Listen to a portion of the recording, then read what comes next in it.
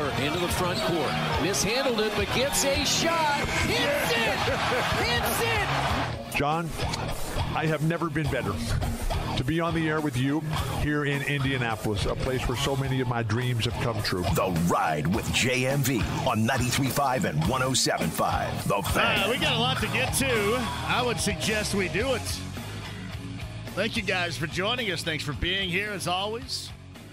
James in studio. I am John. We'll give you the guest list coming up in just a bit. I did mention in the crosstalk with Query and Company here that I think Trayce is going to be on the show, but we don't know if and when that is going to happen at some point, maybe late. So we shall see. But we got a good one lined up for you, of course. A lot of Pacer coverage considering the Rockets and the Pacers coming up at the field house later on tonight. I will say this when these guys are getting healthy, as we see, when these guys, Tyrese Halliburton, starts getting the minutes as we see, this would be what we like to call a nice little bump. If you're able to start stringing together some wins prior to the NBA All Star break, nice little bump, little feel good story right there. And believe me, as I've said, there's a reason you go back to Thursday in New York and how disappointed I was. And then people say on Friday, hey, you're completely overreacting. There's a lot of season to go. Well, great. I'm glad there's a lot of season to go, but you can also take advantage of situations that are incredibly winnable, even when you're not at the end of the season. It all doesn't have to take place at the end. That's always been my issue with everybody making fun of me about the Colts. And wait a minute, a September must win? Yes, you have games of value, especially in the NFL. The games are so important. And then you find yourself begging once you get into mid December. Nah, you don't want to be begging. You want to take care of that right now. A lot of things to take care of when you think about it. Think about this the tale of two teams in the Eastern Conference right now. The Cleveland Cavaliers, who look just stratospherically different for the good now than what we had witnessed early in the season. You know, whether you're talking about injuries to Allen or Mobley or getting used to that, or um, I think they had Darius Garland also was dinged up. They are they're playing the style of winning basketball that I would like to see the Pacers try to put together and replicate here. And then you see, on the other hand, the Philadelphia 76ers, you have zero idea where this thing is going to go. Know, they send out the signals to Adrian Wojnarowski and to Shams about how they got their fingers crossed and their hope that he's going to be good to go at least at some point before the end of the season. But there's a lot going on there right now without Joel Embiid, and there's a lot to be taken advantage of. And again, where you're sitting, take advantage of it. If you're the Pacers, starting tonight, Houston's a really good team, a very young and athletic team. The Pacers already own a win over the Rockets. Young and athletic, though. No Fred Van VanVleet later on tonight. Take care of it. Take care of it before you get Golden State on Thursday. Do the same there. And then you're off and playing some road games. Yeah, give yourself and the fan base a little bit of a bump before the All Star break. Give everybody reason to have something to talk about right here. Because I think right now everybody is still kind of on the fence, see you, Jake. On the fence about, all right, I like what they've done. I like Siakam, but the the results, if you say mixed results, I guess what sounds better is the results are 50 50 by now. I mean, you're kind of even Steven with it. Lose three, win three, whatever. Win one. But no, give everybody a reason to get on the other side of the All Star break. Have some fun around here, whether you're going to the game, you had that type of cash. Maybe going to a party, going to a gathering, get together, and now going to the, uh, Lucas Oil Stadium skills competition, all that's going to be going on there with the LED floors. I think that thing's going to look like my daughter's room. How many how many of you have kids right now that like lights and LED lights are so popular? Those little strips that you just kind of tack up to the wall. My daughter's room looks like Saturday Night Fever. I walk in there and I go, I, I kind of want to start doing my Tony Manero right here in the middle of your room floor. But no, after all that fun is to be had, which whatever you're going to do, fire things up and then show that the move that was made with Siakam is one that is going to work and then reach the bar that we have reset now. And I think rightly so. I guess what this comes down to as well is to start playing again a consistent level of basketball. Or I shouldn't say again, but start playing a consistent level of basketball to where you now build the belief that something is going on. Because we've really handed out an assload of excuses so far. Well, this guy's injured, that guy's injured. Well, this guy's new. They didn't have this, they didn't have that. And they had to go out west, and that was tough. All these games are tough. When you return from that West Coast six gamer, you know, we had basically three right out of the gate, incredibly difficult. I mean, we're just handing out excuses here. And a lot of people out there are going to go, well, you know what? We're used to it with well, people talk about in terms of the Colts. But no, now it's time to start proving it. And I think tonight's one of those games. And we have seen, it's been all too familiar that this team just hasn't been what you would expect in some of these home games. I mean, hell, I was disappointed on Friday night against Sacramento. They got off to a good start, and then basically the uh, three quarters after, absolute mess. Become more consistent at home. And we're just like searching for that against the good teams. I checked that against the bad teams, right? But we're talking about good teams, average teams, whatever. Start to make your mark. Get this bump before the All Star break and then have at it. That's what you should be looking for. That's what Pacer fans should be looking for. In fact, that's what I'm looking for. That is beginning later on tonight. Alex Golden of setting the pace. Everybody is sending me stuff about trading. Trade, trade, trade. Got to trade this and trade that. If you know that Buddy is not in your future, then how are you going to keep him right now? Well, I mean, it's twofold, I guess, because hell, you're sitting in it right now. Maybe you need him right now. Well, he's not shooting well. You got to trade him. But what happens when this is not like this goes away forever? He's not going to get the yips like Steve Sax or Rick Ankiel all of a sudden just fade away to nothing. All right, he's in a slump right now, but he is historically speaking one of the better three point shooters of all time.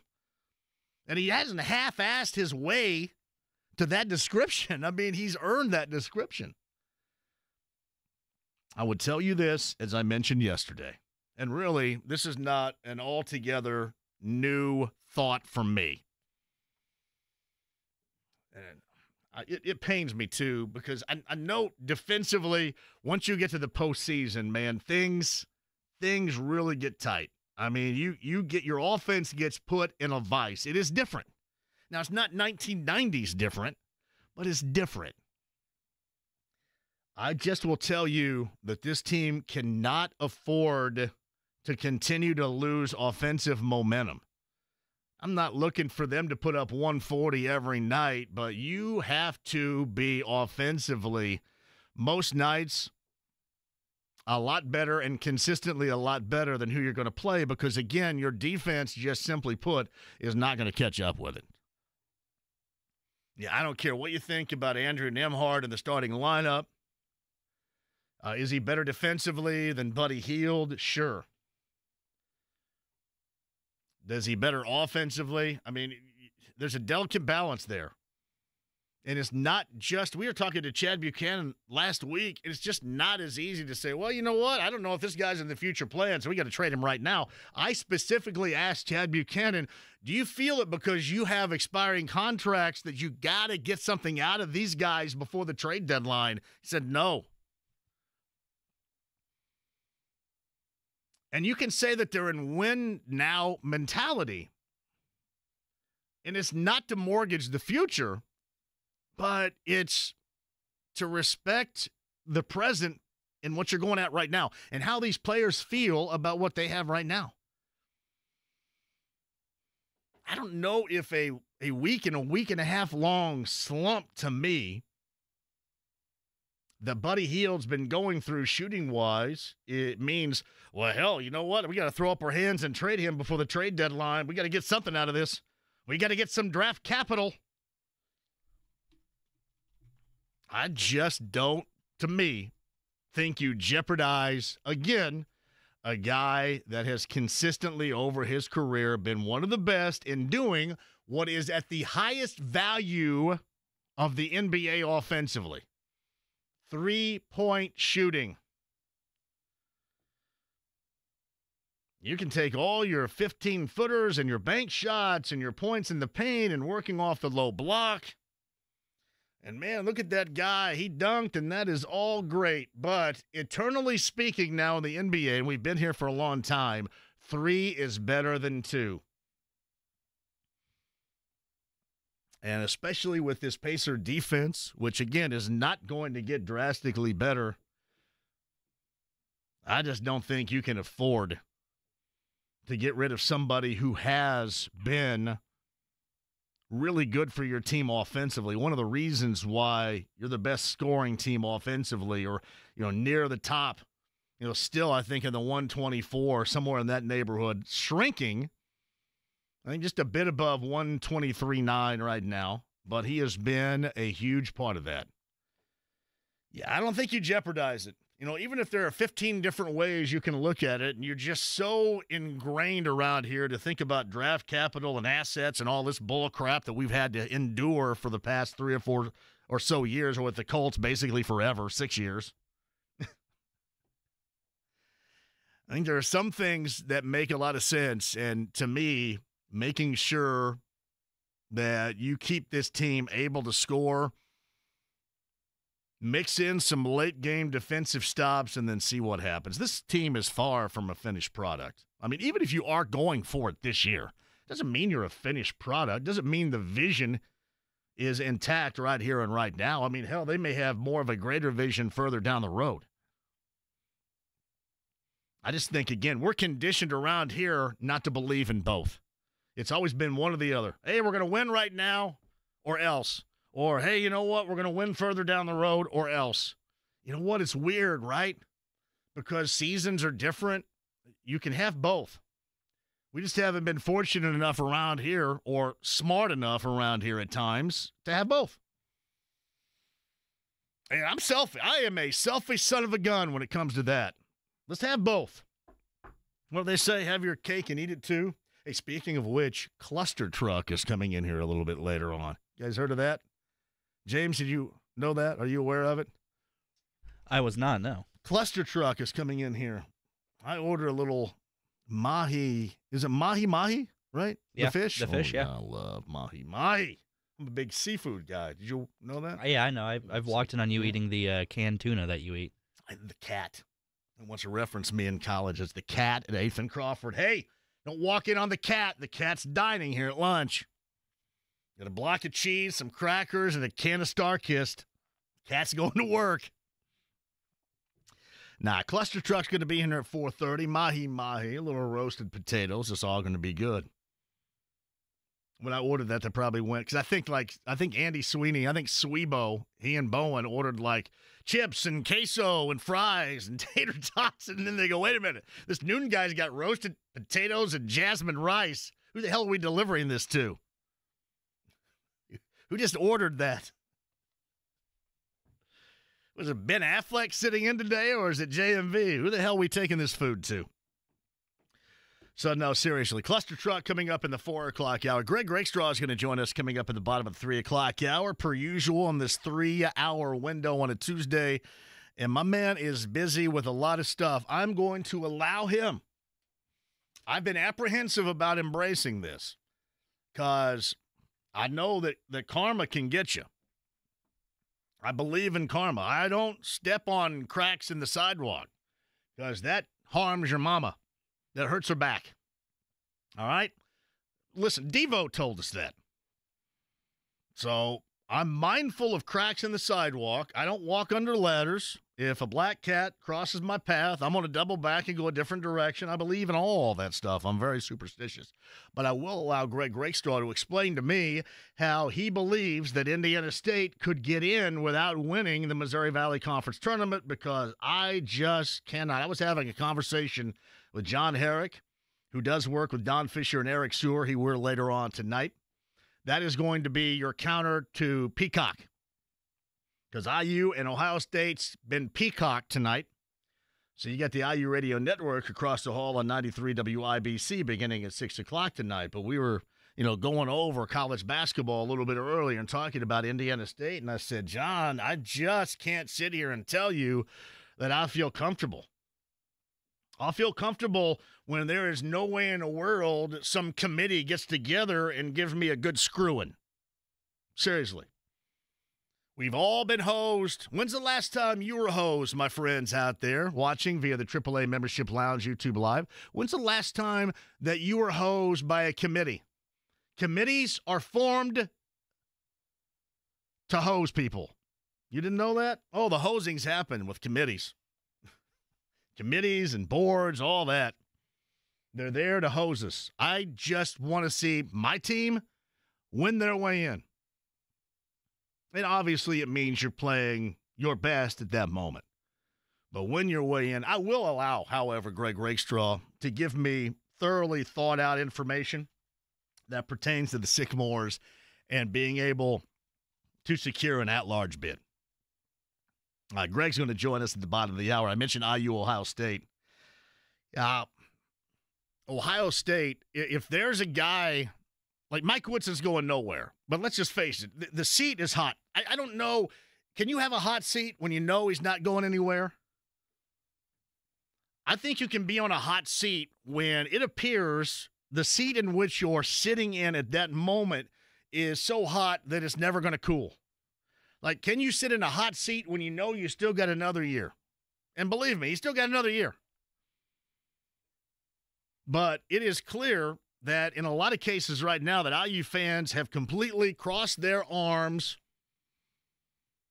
pouted a little bit, and have said there is no going back. You have proclaimed him not to be the guy. And it will take a lot of winning a lot of situations that you just don't believe, not just this year, but even next year, this IU team would have within. And if there's anybody that has a hotter seat, it is Chris Holtmann in Ohio State. Because it wasn't good last year, and in the last eight, it's been an absolute mess. And I would suggest IU going over there, the last thing you want to do after being housed at home by Penn State without their leading scorer is to go to Ohio State, who has been awful here in the last month or so, and get housed over there. And believe me, it is much easier to see this IU team getting shredded on the road. And what's interesting about it is you can make the argument their best game of the season so far, again, arguably, could have been that initial meeting against Ohio State and Bloomington. Now, we were all paying attention to stuff up here. You had the Colts and the Steelers on a Saturday night. You had Purdue and Arizona, Indiana State and Ball State. I mean, the Circle City was happening that night, but I believe in Bloomington, right? That was that Saturday night when everybody thought, hey, this is the IU team we want to see. This is the IU team that you can get with. Unfortunately, it has been very lonesome for that particular group that played that night at that level, you just simply have not seen it. It has been fleeting at best. Yeah, you don't want to go over there and get worked this evening, and I'm assuming that's what a lot of IU fans thoroughly expect to happen. IU Ohio State's at 7 o'clock. Again, it's on the Peacock. They have been peacocked. You all have been peacocked. How many of you have just said, you know what? I don't know if this Peacock's going to be worth it. I'm done with it. Anybody just said screw the Peacock? I so much want to go with a nickname, but I'm not because somebody will come running down the hallway, shaking their fist. You can't do that. Anybody drop Peacock? Especially IU fans. This would probably pertain more to IU fans than anybody. Who do you have tonight? Jac Collinsworth and Robbie Hummel. My man, Robbie Hummel. Robbie Hummel. Robbie Hummel may work more than Greg Rakestraw. Like Greg Rakestraw does everything. Greg Rakestraw probably this weekend will be covering the curling championships up in Ontario, Canada. Like Greg Rakestraw does because he's great at doing everything. Now, I would suggest I work a lot, but I do this, yip yap, and we have some drinks on a Thursday, and then I come back and play songs on a Saturday night for six hours. It's not like I'm working a jackhammer or anything like that. It's not like what you guys are doing out there. I respect that. Robbie Hummel does like every Big Ten game imaginable. It's like they've cloned Robbie Hummel. All right, we're going to put the uh, th- this is this is the Tuesday night Peacock Hummel. Then we got the Wednesday night Big Ten Network Hummel. And then we're going to have the Saturday Fox Hummel. Like he cloned Rob. It's like the uh, Eminem video. What's that Eminem song? The video. What is it? My name is Slim Shady, where they have a factory of M&Ms. Oh yeah, yeah, that one. Uh, Hummel. Uh, JMV, why do you hate Peacock so much? It's not as bad as you think. I don't know. Does that mean I hate Peacock? I went out and bought it. I haven't dropped it yet. I don't know if there's any hate there. I'm just saying you've been Peacock tonight. Meaning, you know, you go from, uh, what was it used to be, Super Tuesday on ESPN? when you always knew where everything was. Remember, there was a time when you always knew where every game is. Now it's like throwing a dart at a dartboard. You go, okay, where's this game tonight? All right, so it's a Tuesday night. It may be on Big Ten Network, but it might be on on the Peacock. Uh, Wednesday night, more than likely. Yeah, Wednesday night. So it's going to be on Big Ten Network. Thursday night, it may be on Big Ten Network. Friday is probably on Fox Sports 1. And then, frankly, I have no idea where it may be on Saturday. Oh, yeah, by the way, too, if you're on Sunday, it could be on CBS. A lot of enjoyment in that. Hey, the Butler Bulldogs, you talking about making your mark last Friday in what was just a fantastic game to watch. There'd be nothing better to see Thad Matta's team flex against UConn later on tonight. Now, this is not what I would like to reference as a must win, but you talk about just locking it up. Lock yourself up a bid to the NCAA tournament. You go back to back Creighton and then roll in. I don't know, are they in Storrs or are they in Hartford tonight? Wherever UConn's playing their games this evening, you roll in and beat the defending national champions. You got something going right there. Nah, it was impressive as hell. That Friday night game was fun too. Yeah, I, I, do. I like watching Greg McDermott coach teams. Not necessarily just that Creighton team, but really any Creighton team. It's fun.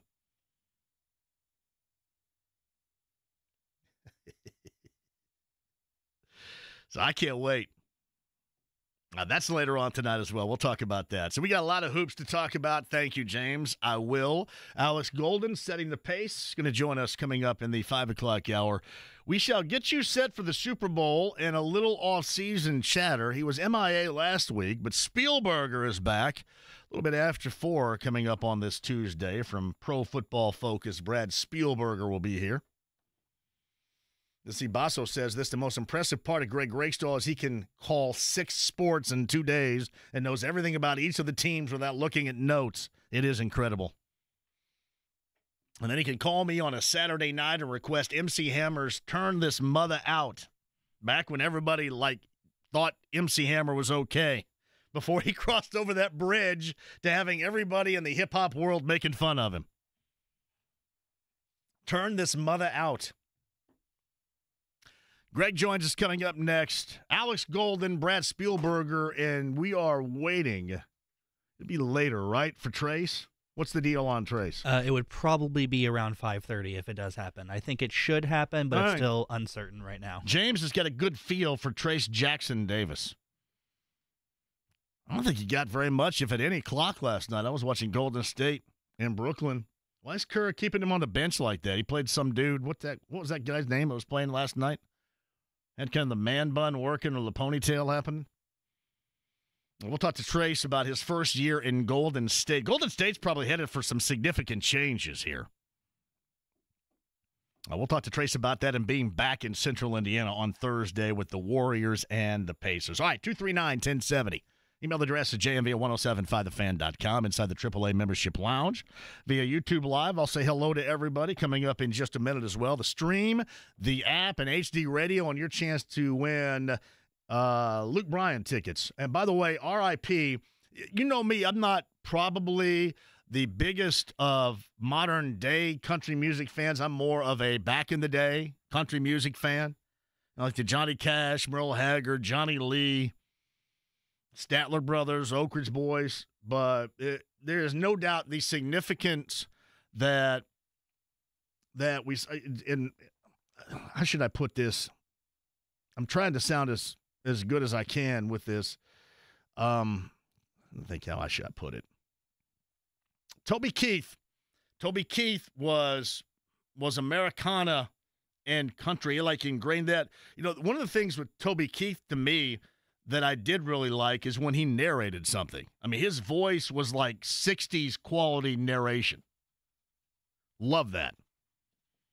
Uh, RIP, a sky point to Toby Keith, who passed away of cancer he'd been battling. Toby Keith was 62 years of age. I know a lot of country music fans out there certainly have uh, loved him and will continue to love him uh, in his passing.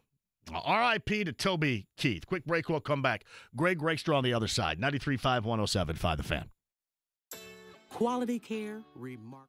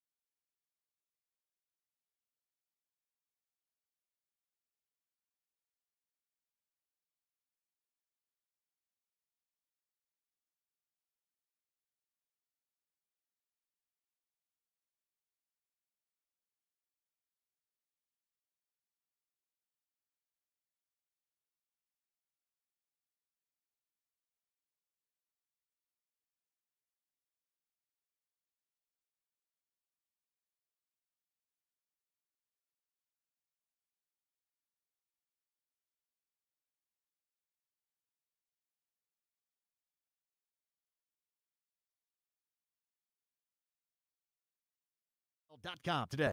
The Ride with JMV. Smokey, this is not Nam. This is bowling. There are rules. 93.5 and 107.5. The Fan. Shout out to our promotions department right here. If you're watching via the AAA Membership Lounge YouTube Live, this is our NBA Jam t shirts here. JMV Jam on the front. This is what you can get if you join me at Whiskey Business, Southport Road, South Side. That's NBA Jam, Michelob Ultra, your chance to be the high score and advance to the finals. The JMV Jam. It has me and B Swift. B Swift right now is on uh, Hot 100.9. Uh, I am right here. But this is badass, and this is the t shirt that you can get by joining us coming up on Thursday. Again, Whiskey Business. South Side. Southport Road cannot wait to see you there. The Andy Moore Automotive Group hotline, Greg Rakestraw joins us. So, are you able to give it an effort? Are you able to solidify a conversation to me that right now the Sycamores could get in as an at large, would not necessarily have to win the Mo Valley Conference tournament? Are you ready to say that? I think if they win out the regular season, John, I think they're in just because they do not have anything that constitutes a bad loss. You know, Alabama is not what they have been. Michigan State is not what they have been, uh, but they're both certainly in the tournament conversation. Michigan State's case, they're the right side of the bubble at this point. Losing at Drake is not a bad loss. You know, I cited what their net ranking was last week. And, you know, I, Mike DeCourcy of, of the various bracket experts, let me flipping through, I think he had them as like an eight or nine seed uh, right now, which tells me that you don't necessarily have to have that automatic qualifier. So uh, to use it in Jim Caldwell ease, they are trending in the right direction, John. So I had DeCourcy on yesterday and had to gripe at him because in his bracket forecast, he actually had Indiana State playing Florida Atlantic. So I had to get pissy about that. you can't tug at John's heartstrings like that. Come Although, on, man the way you could look at it would be that guaranteed uh-huh. something that you're passionate about would advance the second round. That's yeah. the way to look at yeah, it. Yeah, he tried to pass that bull crap along to me yesterday too, and I wasn't having it. Very so. political answer. My bad. I'm yeah, sorry. Yeah, it's all right. Um, so you think that they can, if they went out in the regular season, solidify their spot as at large? That's okay.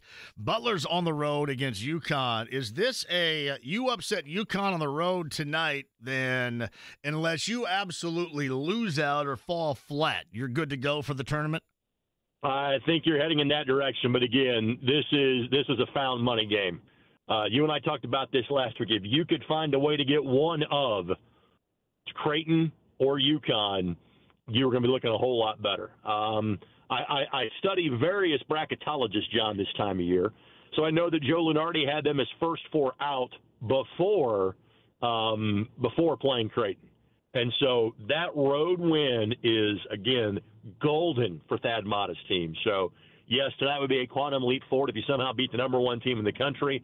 But again, because you're beat, you're playing the number one team in the country, I don't think there's any sort of this is by no means a bad loss. There's no pressure on this game. You win it, great. If not, you still got plenty of air and opportunity if you're Thad Matta's group. I was so impressed on Friday night with their win over Creighton on the road. I mean, that's one thing, but they had a lot of weird things happen down the stretch, trying to inbound the ball and things not going right, and um, obviously, uh, Davis, you know, getting his eye cut and having to go out, and then you had uh, Kapke come in having to knock down a couple of free throws. Some weirdness that normally gives the advantage to the home team in those situations that Butler ultimately overcame. They just never flinched, and we can talk about the you know mathematical impacts of the win in terms of the resume. But I think you cite a very important point. That's something you can tap into that reservoir for the rest of the year when things aren't going your way, you know that in as as hostile of environment as the Big East has, without having you know the fully stacked deck of cards for the Bulldogs, they found a way to get the job done. So I. I, I think that goes miles mathematically and mentally for that basketball team. So Greg Rakestraw, he's with us via the Andy Moore Automotive Group hotline. So IU embarrassed itself on Saturday at home against Penn State let's just face it, in the past month plus, Ohio State's been an absolute disaster, a mess. And while Mike Woodson's seat may be hot in the court of public opinion with IU fans, he's not going to go anywhere at the end of this year. Chris Holtmann, on the other hand, yeah. he's backing up a season of disappointment last year with yet another one. What may be in the cards in Columbus for their head coach? Uh, I would tend to agree that if they don't right the ship, they're probably going in a different direction. Uh, and and that's nothing against Chris. I'm a big fan of Chris as both a person as a coach.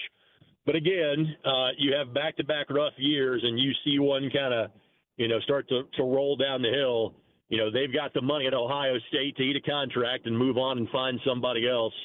And again, because they've got so many seats to fill in that building, um, maybe there's a little more pressure on the basketball coach there than you normally think there would be at a place that is a football school. So, uh, do I think either Indiana or Ohio State's going to be in the NCAA tournament? No. Does tonight have the feeling of an elimination game from the NCAA tournament? Yeah, it kind of does.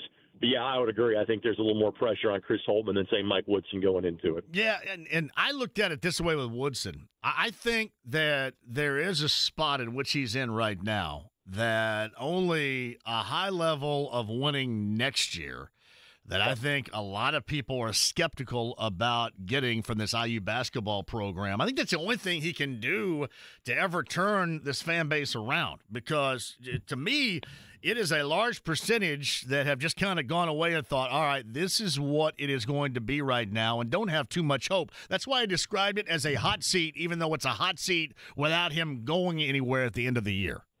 The worst thing that you can have is apathy. Um, and and we've talked about that at various times over the years. If if people stop if people stop calling and complaining, that's a bad sign. Um, and you've got obviously what Purdue has done from a regular season standpoint the last three years. You have a revitalized Pacers organization. You have the Colts that had a while, while a, a, difficult finish, a better year than expected. Um, you're going to start to lose your grip a little bit in terms of the local sports scene. That is a big time problem. Um, that would be my major concern now if I'm, if I'm Scott Dolson and company. He's uh, Greg Rakestraw, I'm sure, has a busy week and weekend we'll get into in a second. But your impression on the Boilers, I know in a lot of ways they're doing what we expect them to do. But that also doesn't mean it's without an impression that you set. And I thought Sunday in Madison was one of those impressions that maybe you don't value enough because that's the level of expectation, but they went the way they went about it was very professional, I felt on Sunday. Yep. That's a good way to describe it. And I, and I think there's two or three things that have some carryover from that win. One, you won't find a, a, a tougher place to win this year than winning at Madison. In other words, combination of atmosphere and team that that's the best you're going to face in terms of road games this year. Secondarily, you saw the progression of Braden Smith, even if there were a couple of miscues at the end of the game.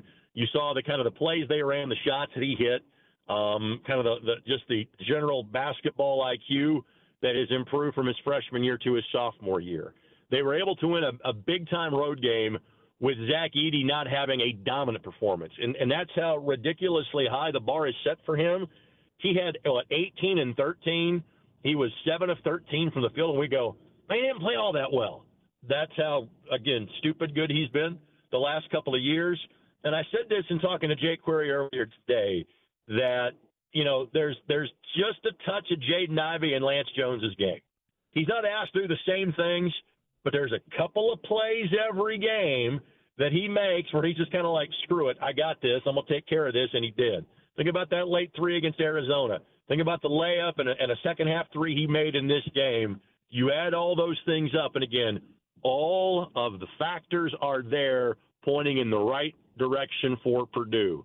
It's just a matter of can you get the job done by the time we get to March 22nd? Because kind of get the feeling that's where Purdue's going to start their postseason path. Will be at Gainbridge Fieldhouse on Friday, March 22nd. I just think about it like this, too. If anybody wants to make the comparison to their first round loss in Columbus last year, and you saw, and I know that you have another year on their backcourt with, with Loyer and Smith, but you saw a lot of dudes in that late game situation looking like they didn't want a part of that late game situation.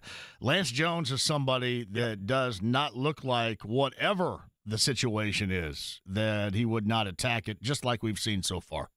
And I think that's what kind of what makes the way the season ended in 22 all the more disappointing is that you know you had that guy that could take over late in terms of Jaden Ivey, maybe Zach Edey's not the player that you know then that he is now. But that's why you felt you had that because he had that knack for hitting all of those late shots throughout the course of that regular season leading up to the postseason, and just kind of went away on one night against a 15 seed. So Greg Rakestraw with us. So what do you got later on this week? You doing any of the uh, girls regionals? How, what they go regional, semi-state? I, I kind of forget the the path now. Is, is what they that have.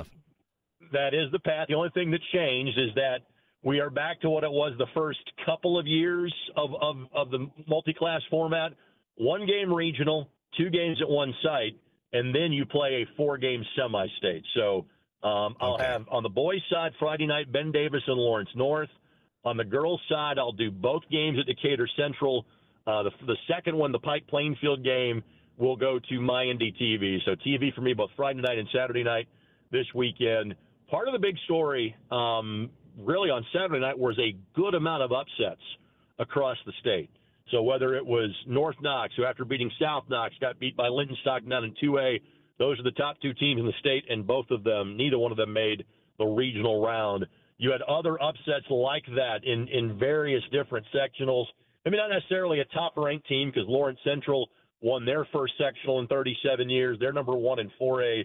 My beloved Eagles did not get upset. They are number one in 1A and still playing. They go back to Western. They got to Crawford County for the regional this weekend. So we are at the regional round of the tournament, and 32 teams will advance to the semi-state the following Saturday at eight different sites across the state of Indiana. So I, I'm taking Laney down to Bedford because uh, CG and uh, Jeff Allen's Bedford North Lawrence Stars, the defending champions, match up in that regional. And the thing is, is that you know Bedford shouldn't view it that way, but you could view Bedford as the defending champs beating Jennings County as an upset. Yeah. Jennings County thumped Bedford North Lawrence uh, on January the third, which ended a 25 game losing streak that JC had had to BNL, and BNL came back and got him in the sectional championship by four days. Yeah, it's funny. I you mentioned North Knox in closing here. There was a time I can't remember how long ago it was. Remember Tom Gugliotta in the NBA? Absolutely, and, and he had family from Bicknell, He did. Tom Gugliotta had family in Bicknell, so I believe some Gugliottas played high school basketball at North Knox. That was always kind of a, a weird. You saw that name, which you you never had seen other than you know what North Carolina State in college, and then in the NBA with the Washington Wizards, then the Washington Bullets, whatever, and then all of a sudden you see that name pop up again in Bicknell, Indiana. It was interesting. I'm not sure though if his cousin had the matching barbed wire tattoo that Tom had that was circa 1996 in his T Wolves days. Did he? Uh, was he a part of the NC State team when they tried out those like una? Uh, what are they? The, the uniform. They just the whole uniform was just like one Like piece. the old, like the old spandex yes, uniform? it was like a. It was just like a one piece uniform. It was awful. I thankfully, John, can say I I vividly don't remember that. That's probably good for everybody involved. I just remember Fire and Ice in the back court wore that uniform once. And remember who Fire and Ice was? No, help me. Chris Corchiani. Was Corchiani a, pro- a part of that? Okay, who was the other one then? Rodney Monroe, I believe, was the Ice Ah. part of Fire and Ice. Okay. Yeah. Okay. So, yeah. Learn a little something every day on this show, don't you? Yes, which is why I call in every Tuesday so I can be schooled in the ways of fire and ice from JMV. And let's also make sure we make a note of the fact you called in Saturday night and requested MC Hammer before he was ostracized by basically everybody, including the music community and especially the hip hop community. Before that, there was Turn This Mother Out. He was MC Hammer and got a lot of respect then. And then Can't Touch This made him a lot of money, but got him a lot of hate as well. Was uh, mutually respected by the hip hop community. John, you got to remember, and this is switching genres, but at the end of Behind the Music, Metallica, Lars Ulrich, when asked if he sold out, he says, Yes, we do, every night. And that line probably applied to MC Hammer about a three or four year stretch of time as well. 1988, he uh, 88, 89, he he turned the mother out though and got some respect. Which is why you turned it out on Saturday night for me on B1057, and for that I'm grateful. Indeed, I did. I appreciate you, man. We'll do it again next week. All right, now the big story is going to be are we celebrating Valentine's Day this Saturday on the show, or is it the following Saturday on Nah, the show? I'll probably push it in a little bit this weekend. So yeah, we'll do. I mean, there'll be a lot of like Mike Wells will love to listen to it. I'm sure there'll be a lot of hip hop slow jams. So yeah.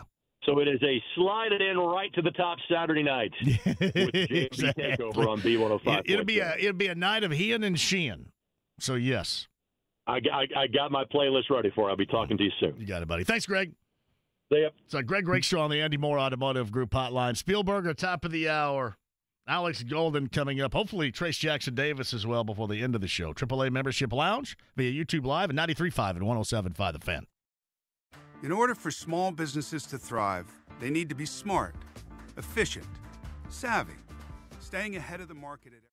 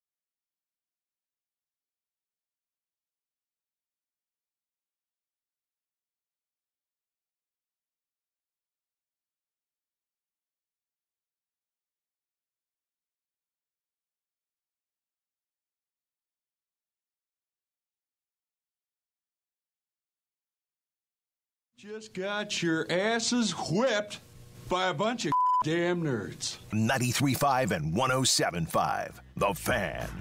James over there, I'm John. Greg Rakestraw, podcast 1075thefan.com. AAA membership lounge via YouTube Live. Hello, everybody. Litzy writes this. So once Buddy Hield starts hitting at his normal rate, Pacers will be easily back over 125. I I just know that defense is is going to get better with a lot of teams. And it's it's gotten better with the Pacers, but it's not going to get significantly better. And I have mentioned this a number of times. I would be scared to take away any of the legitimate offensive threats. And even going through a struggle point where he is right now. That's what he is.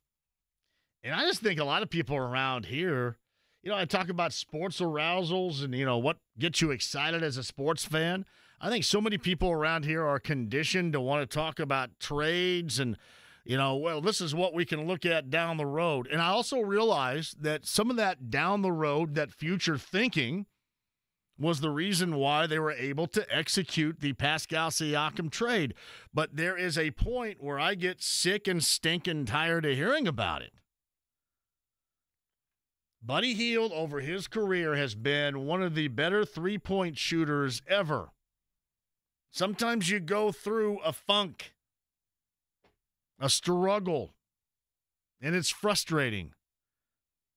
I just don't know if I, I, value his offense and believe it's going to be there. Sure, he can't guard a chair, but there are a lot of dudes on this team that can't guard a chair.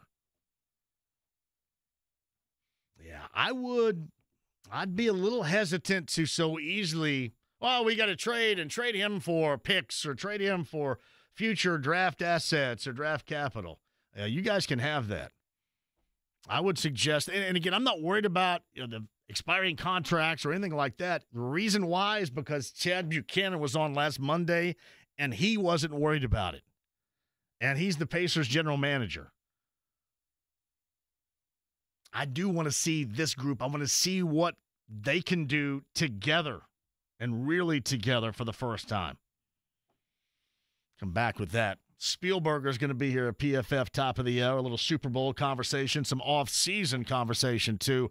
Alex Golden here in the five o'clock hour, hopefully Trayce Jackson Davis of Golden State, the former Hoosier, former Mr. Basketball, former Center Grove Trojan, all that, and Luke Bryan tickets as well. 93.5, 107.5 The Fan.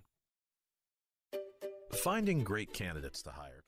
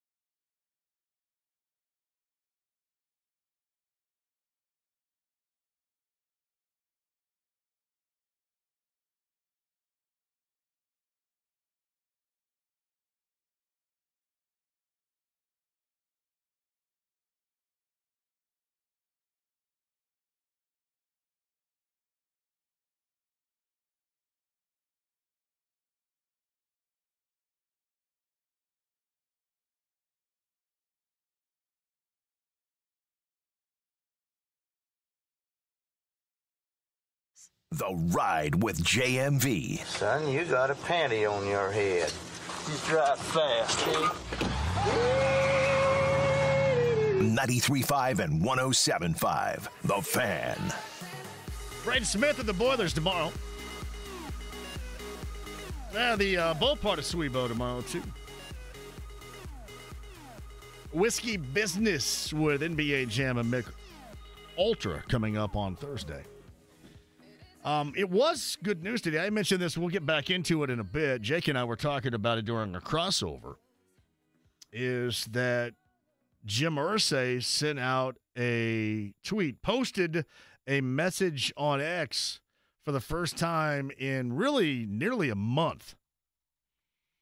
And uh, the quote was On the mend, grateful for all the messages of love and support.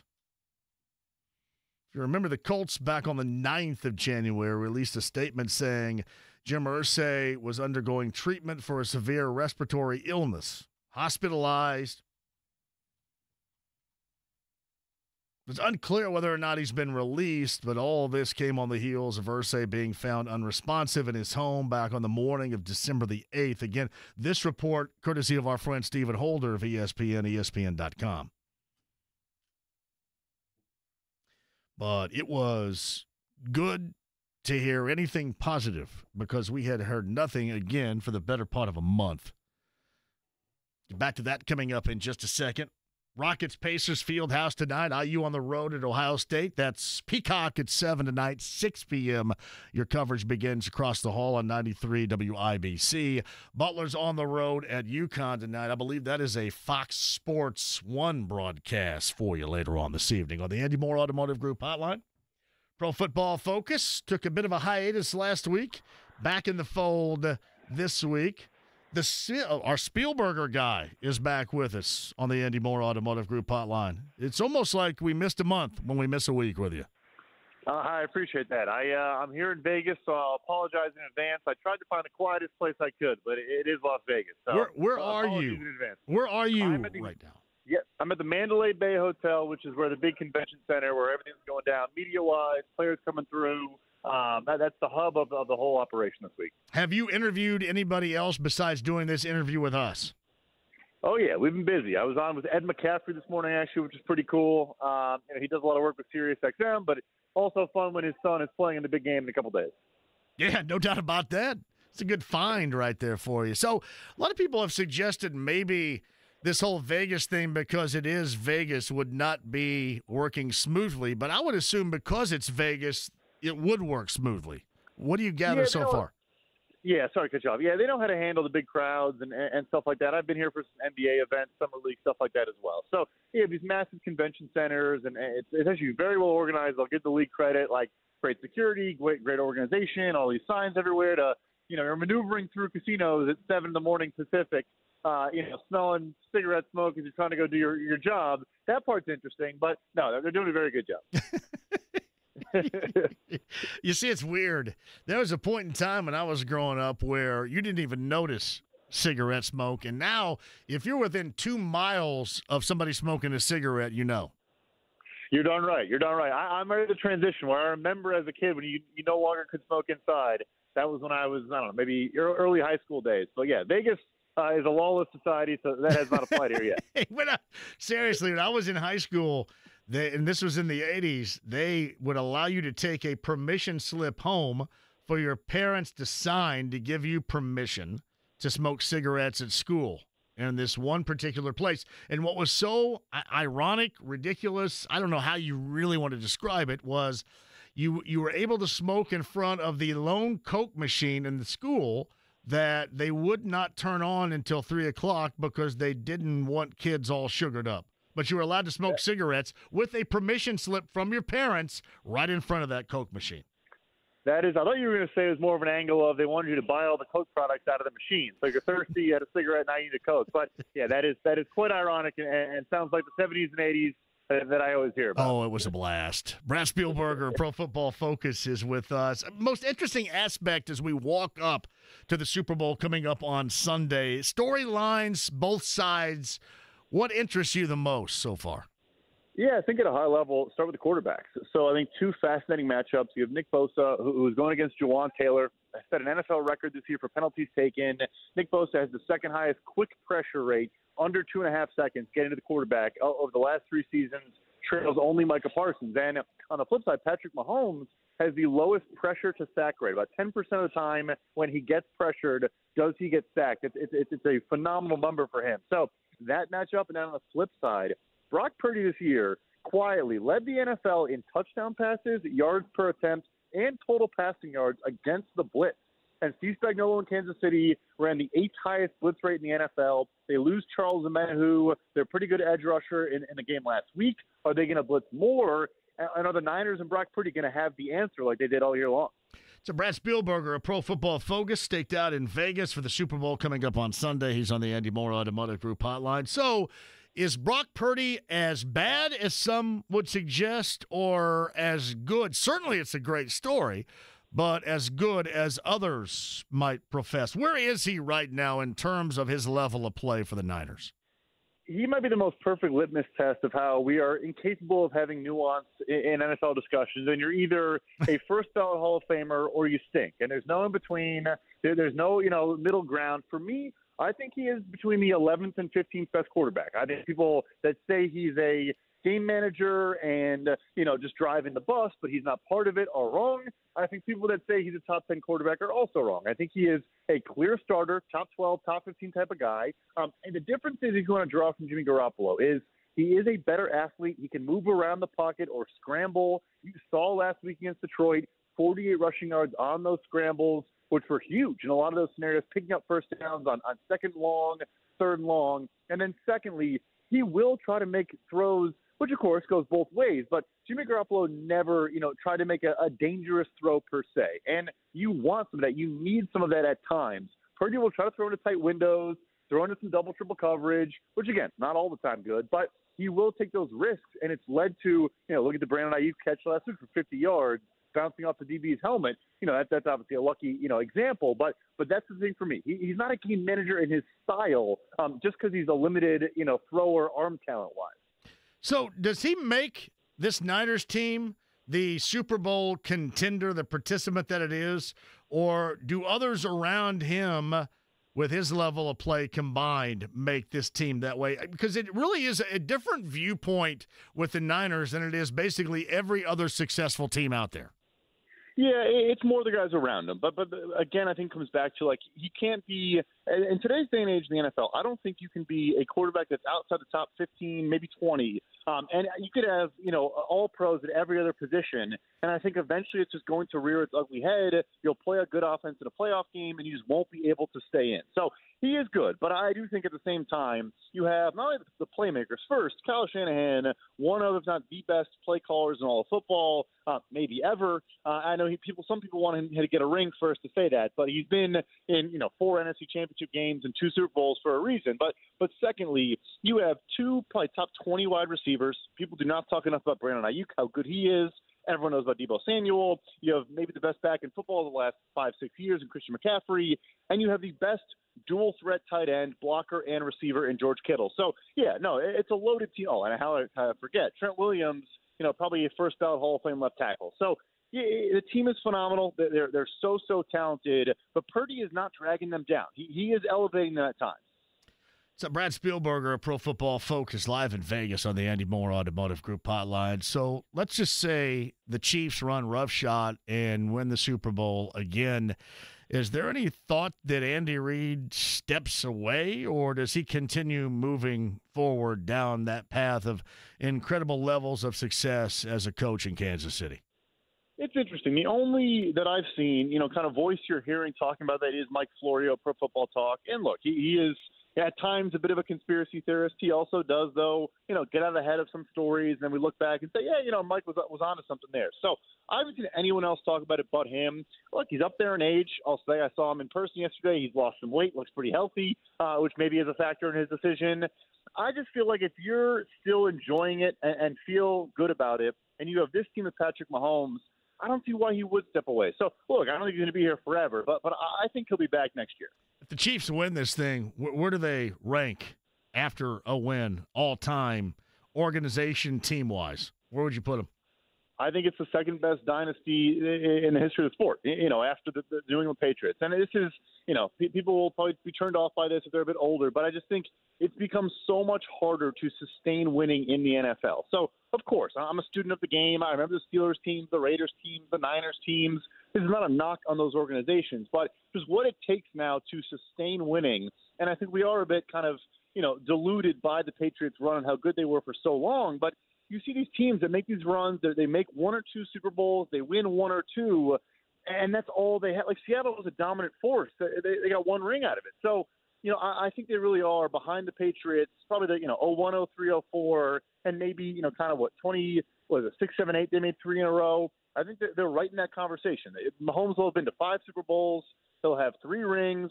He'll have made six AFC Championship games every single season of his career hard to hard to compete with that. It's funny because we mentioned during the the Brady Patriots dynasty that we would never see that again, and you know, lo and behold, I mean, we're the table set with Mahomes, and you mentioned Andy Reid hanging around, and that particular team, the table is set to see that again. So it is, but the fascinating thing for me is can they retool, right? I mean, I, I was actually we are watching some some 01 highlights, and that roster compared to even the 07 team, the 2011 team, that obviously did not win, but made it Super Bowls. Of course, the undefeated regular season team. Um, that was a whole different roster. So what's going to be fascinating is, look, Travis Kelce, 33, 34 years old, that's ancient for a tight end. He, he does not have many years left in this league. Can they find new playmakers? Can they keep the offensive line intact with, you know, the center, Creed Humphrey could be one of the highest paid players soon. Their guards are good players. Like, that'll be the next test is this, this second phase where they need new playmakers, new pass protectors. That's going to be fascinating. If they can, then yeah, they're, they're, the Patriots again, but, but that's the real test. What impresses you the most about the 49ers? Their offense or their defense? Their offense. Their defense quietly has not been good for about two months now. I, I think it should be more of a storyline. You've been able to run on them uh, uh off edge. You can run at Chase Young. He's showed some lackluster effort at times. Um, and on the interior, they signed Javon Hargrave to that massive free agent contract. Still a good interior pass rusher, but he's a guy you can run on as well. Um, and the secondary, they don't really prioritize it. So Charvarius Ward, a good player in a revenge game against his former Kansas City Chiefs, but it's a good secondary. It's not a great secondary really at any position.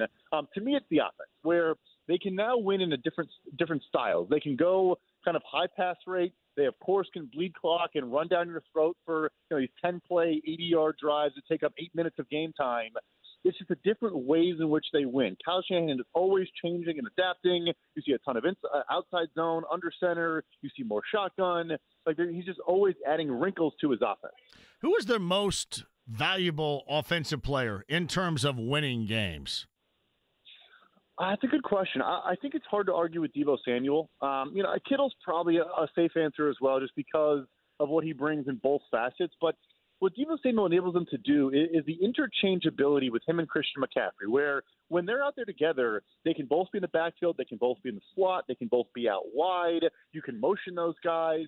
You can just do so much when they're both out there that defenses really have no idea what they're looking at. And you saw when he missed time this year was when they had their three game skid, um, you know, the middle of the season. He just, it's a guy you have to account for on every single snap because if you don't, he's going to break off a 70 yard touchdown, force some missed tackles. He was phenomenal against Detroit. I think he's a guy just like, he, has a, a gravity to him where when he's out there, it elevates every other player in that offense. So Brad Spielberger, Pro Football Focus, with us via the Andy Moore Automotive Group hotline. So what's your call coming up on Sunday in Vegas? I think the main thing for me is we're going to see points, points, points. I think this is going to be a high scoring affair. I, I love the Chiefs defense, I do, but you can also run on them a bit, and I think you are going to see them struggle a bit to defend that run.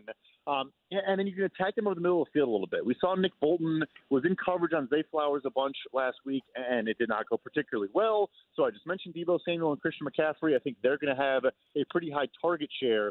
And the flip side, the Niners defense is still a good unit. Don't get me wrong, but you can score on them. Go look at their numbers the last two months, and they have they have not been that good on that side of the ball. So final score, I'm going to go 31-24 Kansas City uh, with, a, with a late touchdown. But I think the main thing is they're going to move the ball in this game. Hey, Brad, we're constantly looking for, at least around here, a diva elite level wide receiver that has be- become disgruntled in their present position and wants to do something to get out.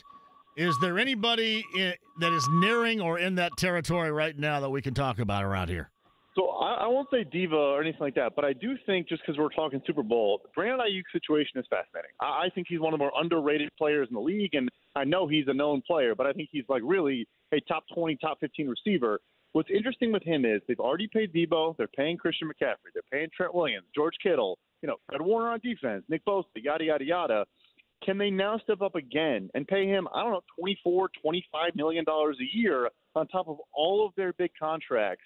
maybe if they feel they can't, they're willing to trade him for a massive, massive haul, try to get younger, get cheaper. So I don't think he's going to push his way out. I, I doubt he wants to push his way out. But that one, it, might be a pipe dream, but but that is a fascinating situation for me to watch. And he would be a great element to, to bring to Indianapolis. Wins in different ways. One of the best route runners in the NFL. Good after the catch of the ball in his hands. Um, good ball tracker, good footwork at the sideline. He he would really elevate that offense. Seventy-five catches, I believe. I, he went. Uh, what did he go? Well over like uh, thirteen hundred yards, I think. Right this past season too. Did he not? Yeah. Yeah. Yeah. In receiving. There was. A, yeah, there was a stretch through week eight where he had. I think he only had one catch that wasn't a first down through the first like two months of the season. Man, that gets us all excited. See, because yesterday I was talking to Stephen Holder of ESPN, ESPN.com, and he had a story regarding Stefon Diggs. Um, I don't know if that went anywhere or not. I don't even know. Like to me, when you look at a guy like Stefon Diggs, we'll look at him like just in general right here. Is he a guy that his is his value at all um, undermined by what has transpired personality wise with him in Buffalo the past couple of years? Yeah, maybe a little bit. You know, whenever you're complaining about playing with, I don't know, probably the second best quarterback in the NFL, whether you're complaining or not, or just putting out cryptic messages, or your brother is tweeting out like "free this man," and again, he doesn't control his brother, but you know, whenever that stuff's happening, and it's like, how much better can it get than playing with Josh Allen? Maybe Patrick Mahomes. That's probably it. So Maybe. The thing with him is the financial situation is a disaster for uh, Buffalo if they have to move on. Like it's almost untenable given their cap situation. So I don't know how they would navigate it. They have a massive, massive dead cap hit. He's going to be 30 years old. I want to say next year. And he also kind of fell off a cliff the last two months of the season. They kind of phased him out of the offense a little bit. They ran the ball a lot more, but but he wasn't even all that impressive the last couple months. What's going to happen with offensive guru Eric Bieniemy? Uh, a good question. I, there really is not a lot of conversation about it. I, I imagine he becomes a you know senior offensive advisor or something like that. Maybe a run game coordinator, an RB's coach with a you know somebody's connected to. Maybe go back to Kansas City. I don't know, but I think the you know why is Eric Bieniemy not a head coach storyline? I, I think is is no longer really something we're going to hear a lot about. I just I, I'm curious. Is is this just simply put a a product of the environment that certainly hasn't worked out for him when he's been given an individual responsibility, I guess, with a different team playing in in Washington. I mean, you make an argument they're not even in the the neighborhood, the zip code of having the weapons and the offense that they have in Kansas City. How would you describe him as an offensive coach right now? Yeah, so it's interesting. He has the run game and, and running backs uh, a foundation, but also at the highest pass rate in the NFL this past year in Washington. I think he does have good route concepts, can, can get guys open, um, can manufacture touches for guys lower on the depth chart, so he doesn't just rely on the top weapons and spreads the ball around. Here's the thing with him to kind of bring our conversation full circle here. He is viewed as this like very hard nosed, tough, old school coach. You had Commanders players kind of saying he was kind of like holding everyone accountable and and really I'm not pissing them off, but kind of like rubbing them the wrong way. You hear it in Kansas City, they kind of now said this year they kind of missed that element of really being a hard nosed, tough guy. I think some teams might think, you know what, it, with Gen Z athletes coming up in the NFL, that style just might not really work anymore, which isn't his fault. Um, you know, 20, 30 years ago, it's what they were all looking for. But the Mike McDaniel, I mean, he's unique, but but kind of the more forward-thinking, progressive, positive reinforcement, not negative reinforcement. Like I think that's where the league is going. It's Brad Spielberger of Pro Football Focus. Before I let you go, I want to get to the Eagles opening up in Sao Paulo uh, coming up, um, uh, yeah, but what, September of 2024. Uh, that's where they're going to open up in Brazil. I don't know who they're going to play. Maybe you do. We'll talk about that. But Nick Sirianni, obviously here as an offensive coordinator once upon a time, was that kind of an ultimatum, organizationally speaking, that you, you got to punt these coordinators uh, to make this right because you're next? What's going on in Philly there? Yeah, I think to a degree it was because it's actually interesting. We had the same scenario when Doug Pederson got fired. There was the same story that came out where Doug's going to submit a list of potential coordinator hires, And what happened with him was, I guess he did that. We didn't hear who was on the list or what the ideas were. But then a week later, two weeks later, he just got fired. So maybe his list wasn't as good as, uh, you know, Vic Fangio and and Kellen Moore. So Sirianni said, "Hey, I still have really talented, qualified people that want to work for me, work with me." So then maybe you know kept his job for for next year at least. Um, but I think they will have a long runway. Uh, you know, the guy made a Super Bowl, one started off ten and one this year. Yes, it finished very ugly, um, but I think they'll give him some time to kind of right the ship, uh, transition to a new phase. A lot of veteran players maybe on the way out. Um, and I'll, I have no idea who they're playing in Sao Paulo. I didn't even know that was happening until you just told me. I love it. I didn't know it was. I, it, it surprises me that they open up there, but uh, I don't think they've had an international game since 2018, from what they said. I, am just kind of curious if that was going to be an NFC East game or it'll be something a little bit different right there. That's to me that's difficult. Start out the season doing that. That's it. Almost seems a little bit deflating to me. It's interesting too because I think the elevation there is going to be very, very different than any. You know, Mile High it probably isn't even close to what that could be in Sao Paulo. Uh, yeah, it's probably is tough. Like at the same time, maybe you say, you know, it's week one. You go maybe go two weeks early and kind of you know get adjusted, yeah. get ready for it. But yeah, week week two is going to be interesting. All right, it's Brad Spielberger, Pro Football Focus in Vegas. What are you writing about? Who you're going to talk to? Because clearly you're a hell of a lot cooler than any of us around here right now. I don't know about all that, but uh, so I, I just put out yesterday the, the landing spots for free agent running backs and tight ends, uh, and then tomorrow should be the pending free agent offensive linemen and, and some fits for them schematically, stuff like that. So we'll flip over to the defensive side of the ball next week. Uh, we'll keep adding names to our free agent list. Uh, so all, all things off season for me. All right. So next Tuesday, we're going, we'll do recap of the Super Bowl, We'll start getting all in on free agency around here, right? Sounds great to me. All right, Brad, man. Have a great week and weekend in Vegas. Enjoy the Super Bowl. Thank you. Thank you so much. Have a good one. Brad Spielberger, Pro Football Focus, every Tuesday in the 4 o'clock hour right here. Uh, Alex Golden, and we're thinking Trayce Jackson Davis coming up in the uh, 5 o'clock hour. But in here right now, go ahead and get his uh, mic if you would not mind over there, James. Um, Evan Sherrill? Evan Sherrill. Cluster Truck, right? Cluster Truck. I know that you brought in food to the Swebo Morning Show a little bit earlier. The morning wake that. up call with KB and Andy. Thank you so much for bringing in the food for me today. What, what do we got over there? Uh, I got your blackened mahi sandwich. Oh, yeah, baby. Pulled off the grill right before I I came love over. Uh, I got a cheesy bread for James. Butter made in house. James got something. Garlic and basil butter made in house by our chefs. Nice. Uh, Chipotle ranch with that is my go to. Also made in house. That's Very much appreciated, delicious. man. Thank you Look so at yeah, much. of course, man. of course. Got our. I told uh, him earlier he's, uh, he was SOL. never, never. I brought I brought Mark Dykton a lazy burrito earlier too, but Corbin was in. Oh, for him, Corbin so he was got in to here. eat Yeah, that. well, Dykton's, I think, in Orlando or doing something right now. But yeah, hey, how, how can people get a hold of you? Because I cannot wait to dive in to that bag over there. So how can people get a hold of you? Absolutely. Clustertruck.com. We offer free delivery all over the city, all the way from Fountain Square up through Carmel. Uh, download our app. and we also offer pickup as well if you live outside. I, I was telling Andy earlier, he lives in Irvington like myself and just outside the zone. So we offer pickup for people like that as well. What about Bargersville? Will you come down to my place? working on it. We're working on it. now, now, how did Cluster Truck get its start? Yeah, so started in uh, I believe 2016 Mhm. by Chris Baggott.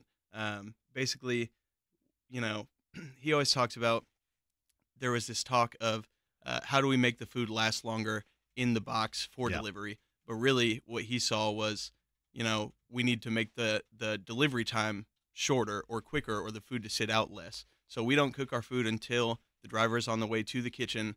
Um, unlike you know third parties where Right. they don't know where the driver is. They cook the food, it sits out for an hour or two, and then it gets to your house. So uh, our food is cooked and delivered within 10 minutes of the kitchen.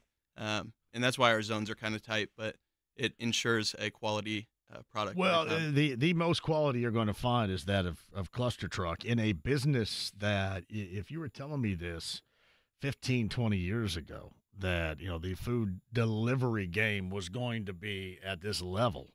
But man, Cluster Truck, shout out to you guys for doing what you do because it is a world where everybody's coming at you right now, and you guys reign supreme. That's pretty awesome.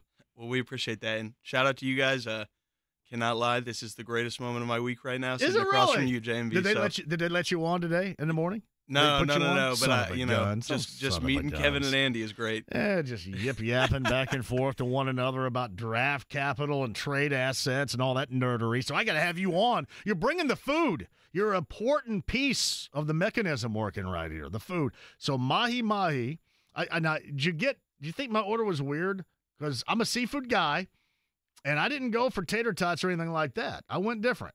You went different. I did not peg you for a seafood guy, and, and your order you didn't put it in until a little late, so I I was know. nervous. I was gonna go like, you know, pizza, chicken strips for you, but I like what you got. It's different, and you know, we have so many different options on the menu. It, you know, it, it makes sense to go for different options sometimes and, and try that variety out. You didn't picture me as a roasted potatoes, jasmine rice type of guy right here, did you? I'm guessing. I did not. That that made more sense to me than the mahi though. The you know, I love it. potatoes I'm and sorry, rice. I love it. And and let me tell you, it, it is a tough seafood game around here. And to bring seafood like that on the road, that's impressive right there. It's tough.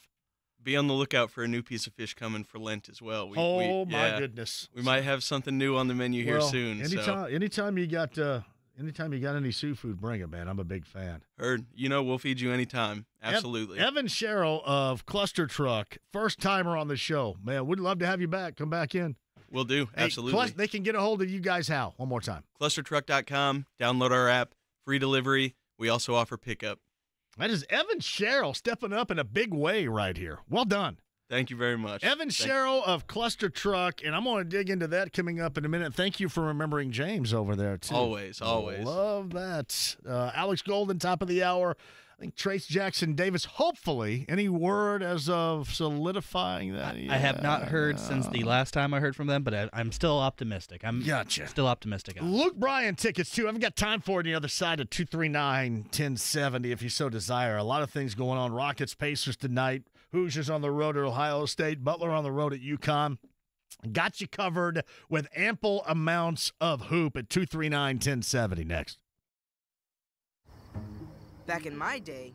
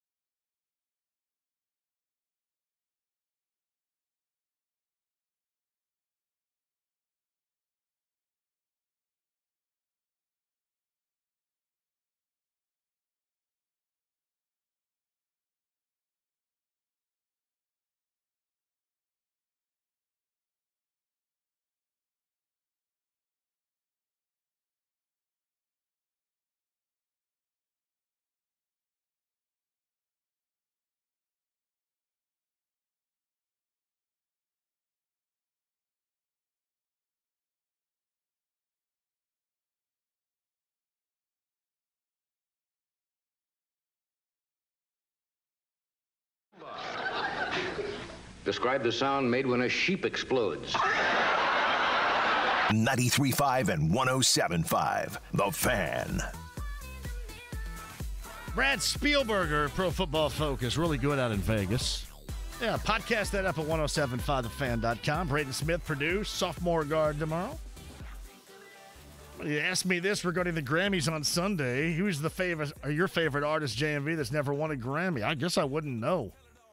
Like, I, I don't know if the Talking Heads have ever won a Grammy. I love the Talking Heads. I don't know if The Cure ever won one.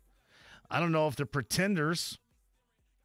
Uh, I don't think GNR, Journey. I mean, I guess there'd be a lot in there that would be my favorites. Thank you for asking. Yeah, be right in there. Probably start at the list at the beginning with that of the Talking Heads. Big fan right here of the Talking Heads. Uh, JMV, I know you like to make fun of the Peacock, but the Peacock is the only place where you can now watch Hope Brady. Shout out. Hey, JMV, you, your conversation regarding the Pacers is right. No more excuses. And, and again, I want to make sure, Jeff, you understand. I'm not at all suggesting that the Pacers are a finished product. But what I am saying is that I want it's okay to have a vision of what is going to be when you're even better, but also when at the moment in which you feel you're still building. You're still building toward that moment. Just it seems like around here, everybody just says, All right, we know we're going to stink and we're going to stink right now. It does not necessarily have to be that way. When you hear me, for example, get angry, you know, about a bad loss, like last week, last Friday's show was about that Knicks fourth quarter debacle. That was a very winnable game considering who they were missing. And they just couldn't close it. To me, that was as as bad as what we had seen in some of these games this year. So with the bar of expectation, you talk about being able to win in the now, even though they're not as good right now as you would expect them to be. I would guess further on. But man, you just you got to take advantage of moments too. That's the other thing. You know, we saw the Colts not take advantage of the moment in which they had. We saw Houston do that. Yeah, backup quarterback or not, it doesn't matter. You saw them do that. Uh, Bill Cash of Stouts Footwear says, I'm not a big country fan, but Toby Keith seemed like a good dude. Uh, shout out for the show intro. I, I will say this. Toby Keith to me, and I'm not I'm not the biggest modern day country music fan. But when he did narration, I will say this he had one of the greatest voices of all time.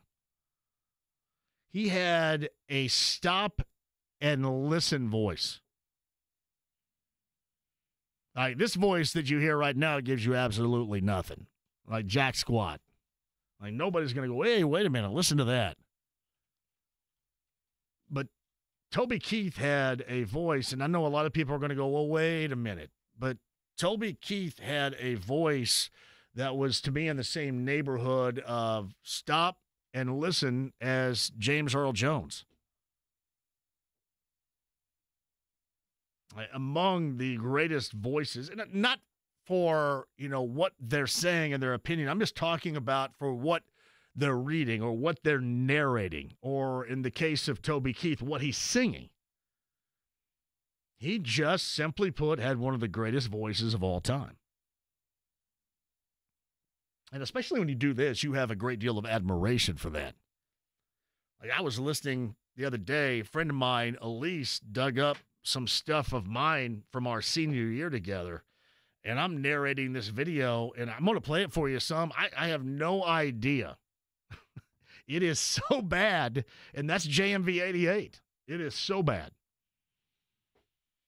But he just had, again, he had that stop and listen type of voice.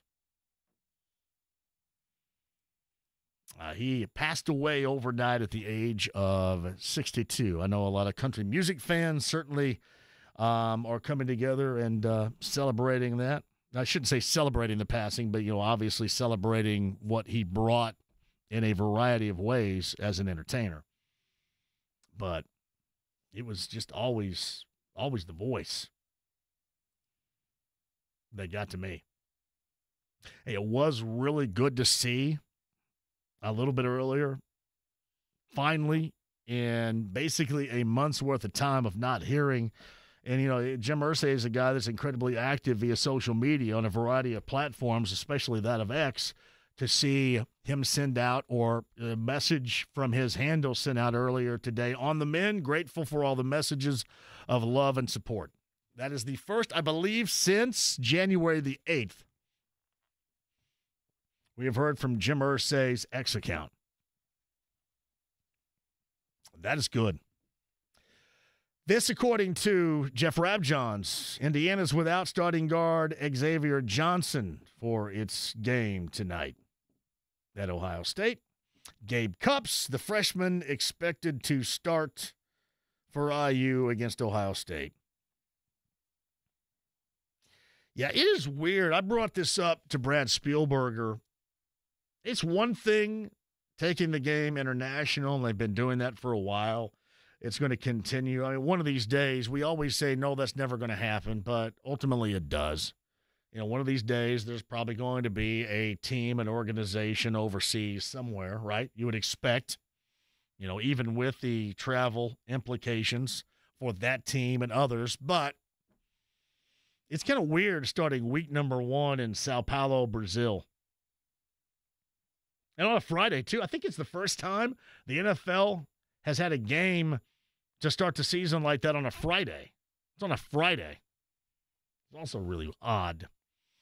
Uh, the Eagles are part of that. We have yet to determine who is going to be their competition. Sao Paulo, Brazil to start for the Eagles. And we'll find out who they end up playing with that. All right, 239 1070 is the number. If you guys want to jump on board, you certainly can. Top of the hour, Alex Golden setting the pace. We'll talk about the Pacers later on tonight. NBA trade deadline is coming up on Thursday. Um, I don't have any expectations for it. Some people do. Uh, people are down on Buddy right now. So now you start talking about trade assets and all this. I, to me, think it's dangerous with a guy that has been that good for his entire career at doing something that is at the top of the list of value in the NBA right now to suggest when he goes through a slump that trade him for some sort of asset or a pick or some other jackassery that you're talking about. That's dangerous territory right there with a team that certainly is so reliant upon their offense even with somebody going through a slump. It's not like he's a guy either. He worked to get to where he is. Obviously, a shooting work ethic. At some point, he's going to bust out of that. I mean, hell, maybe it's tonight. Maybe it's on Thursday night against Golden State. At some point, he will. And I like to use this descriptive term, but I wouldn't jack with it. And I asked Chad Buchanan that very question going back a week ago. Do you feel compelled to make a deal because you've got guys, for example, like Buddy, guys like Jalen Smith that have expiring deals? You want to get something out of it. I believe Jalen Smith has a player option on his, right? So you feel compelled to make a deal because of that? And he said, absolutely, they do not. I. I wouldn't be messing with the offense as much as everybody's excited about at some point in time seeing Jarace Walker Buddy Hield is a three point maker that's going through a slump right now. And if you're looking for things, if you're looking for weapons, if you're looking for, you know, an attribute that is at the top of the list in the NBA or basketball in general right now, that if you have somebody you can do, you feel really good about offensively, that's shooting the three. I'd be careful with that if I were you. We'll talk to Alex Golden about that coming up at the top of the hour, too. And uh, Luke Bryan tickets coming up a little bit later on. Braden Smith, Boilermaker Guards, coming up on tomorrow's show. I think Bowen's going to be here, too. And then on the road, Thursday on the road at Whiskey Business with NBA Jam and Michelob Ultra. Thank you to Evan and ClusterTruck for the food. And then the thought of remembering our guy James right here, too. James got the cheese bread. I've got the mahi. Blackened grilled mahi. I'm eating right. Yeah. I've never, I've never really tried mahi. I don't think. Roast, really? Yeah. Roasted potatoes and jasmine rice. See, that sounds good. It's a good deal. That's a healthy eat right there. Is jasmine rice good for you? I think so. I remember living in the 90s, I ate nothing but rice, and everybody said, yeah, you know what, rice is low fat. But then now you get into 2000s, and, you know, like, uh, hell, I don't know, 30 years later, everybody's saying, yeah, you know, all that starch is bad for you, blah, blah, blah. I was just slamming pasta and rice like it was going out of style in the 1990s. What the hell happened with that? Uh, thank you to ClusterTruck and Evan for stopping by with that today, too. All right, your calls on the other side of 239 1070. The Tuesday edition of this show, the AAA Membership Lounge via YouTube Live and 93.5 and 107.5 The Fan. Whoa, you are cute.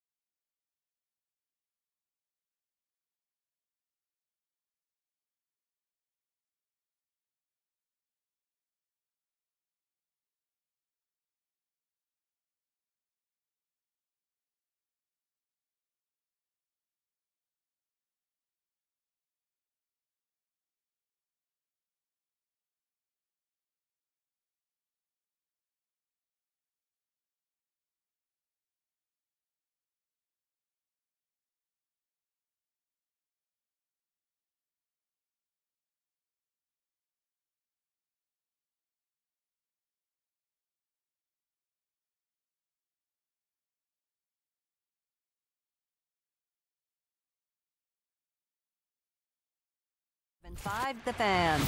The Ride with JMV. It's party time. P A R T. Why? Because I gotta. 93.5 and 107.5. The Fan. Alex Golden of Setting the Pace going to join us coming up at the top of the hour. Rockets Pacers tonight. No Fred VanVleet for the Rockets. Rockets, young and incredibly athletically gifted. Pacers beat them in the first meeting of the season on the road in Houston. I mentioned this at the outset of the show. It, I want to see them get a bump in winning and positivity moving up to this All Star break.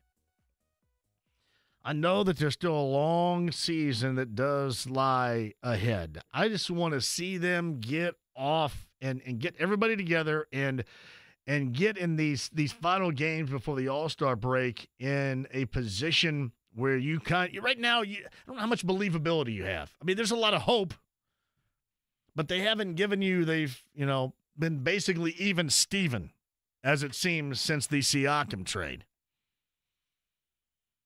I want them to give you a little bit more than just, well, we hope that things are going to turn around now that's everybody together. I want to see some actual evidence of that. Who's with me? Actual evidence.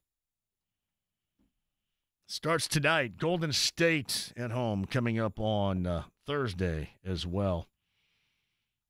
Golden State goes back to back on Wednesday and Thursday. Uh, from what I've read, though, I know that a lot of people want to see Steph Curry. I don't blame you. I mean, he's the greatest shooter, arguably, arguably of all time. Certainly the greatest shooter out there right now. And I mean, hell, when he makes one appearance here in Indy outside of the All Star break, you want to see the dude play. You want to see him ball a little bit. The expectation is you will see him coming up on Thursday, but we shall see. Things can certainly change. I will also say this for the Pacers. You got some openings going on. For example, Cleveland is playing some damn good basketball right now. I think they're up to the uh, second spot right now in the East. Much different than what they once were. However, you look at a team like Philadelphia that's going to have to ride this thing out, maybe even long term this season, maybe even for the rest of the season. Uh, but certainly when it matters here in the regular season, Joel Embiid is going to be missing. There is ample opportunity for everybody in the East and certainly the Pacers to take advantage of that. Hmm, take advantage of his absence, which is going to have some profound impact on that team without question. So tonight, let's see if they can't get you as the fan a little bit of bump and, and get you off the well everything is even and we're still kind of waiting till you go up to the all-star break feeling like you can't wait till things get started up again with a team that you have a little bit more of a belief in. Everybody's back everybody's playing.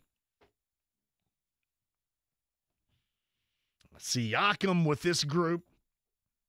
Longer term yeah, I did see Tyrese Halliburton mention how Siakam in a uh, blue and gold uniforms not quite getting to the free throw line as much as he did with the Raptors, which is kind of funny. You know, I love making fun of the NBA officiating. We I've always been good about that though. I always thought there were a number of years, and then you could tell because remember when Sabonis was here he kind of went from a guy that would just tough his way through it, and we always talked about how he got a major bad whistle. To you could tell he crossed over that bridge to complaining every single time anybody touched him.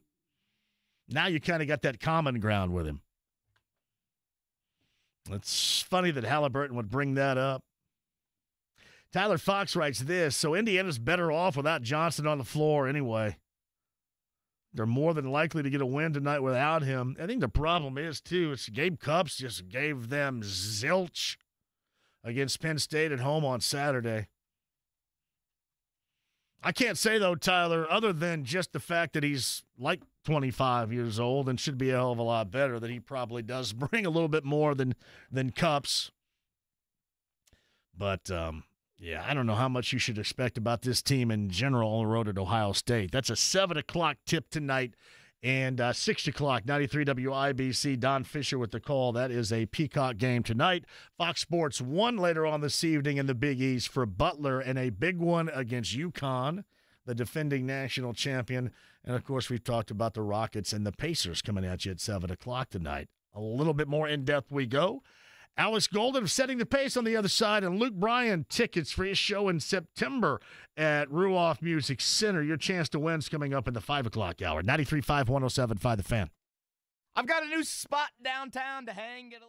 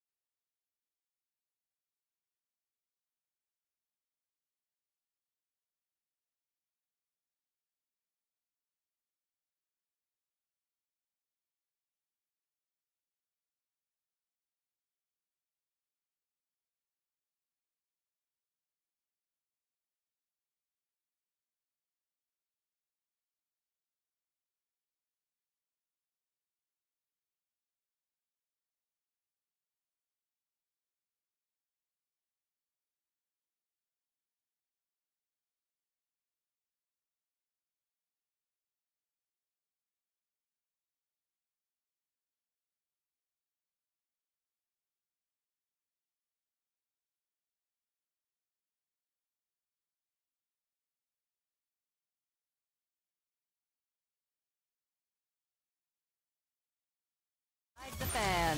The Ride with JMV. Just when I think you couldn't possibly be any dumber, you go and do something like this. And totally redeem yourself! 93.5 and 107.5. The Fan.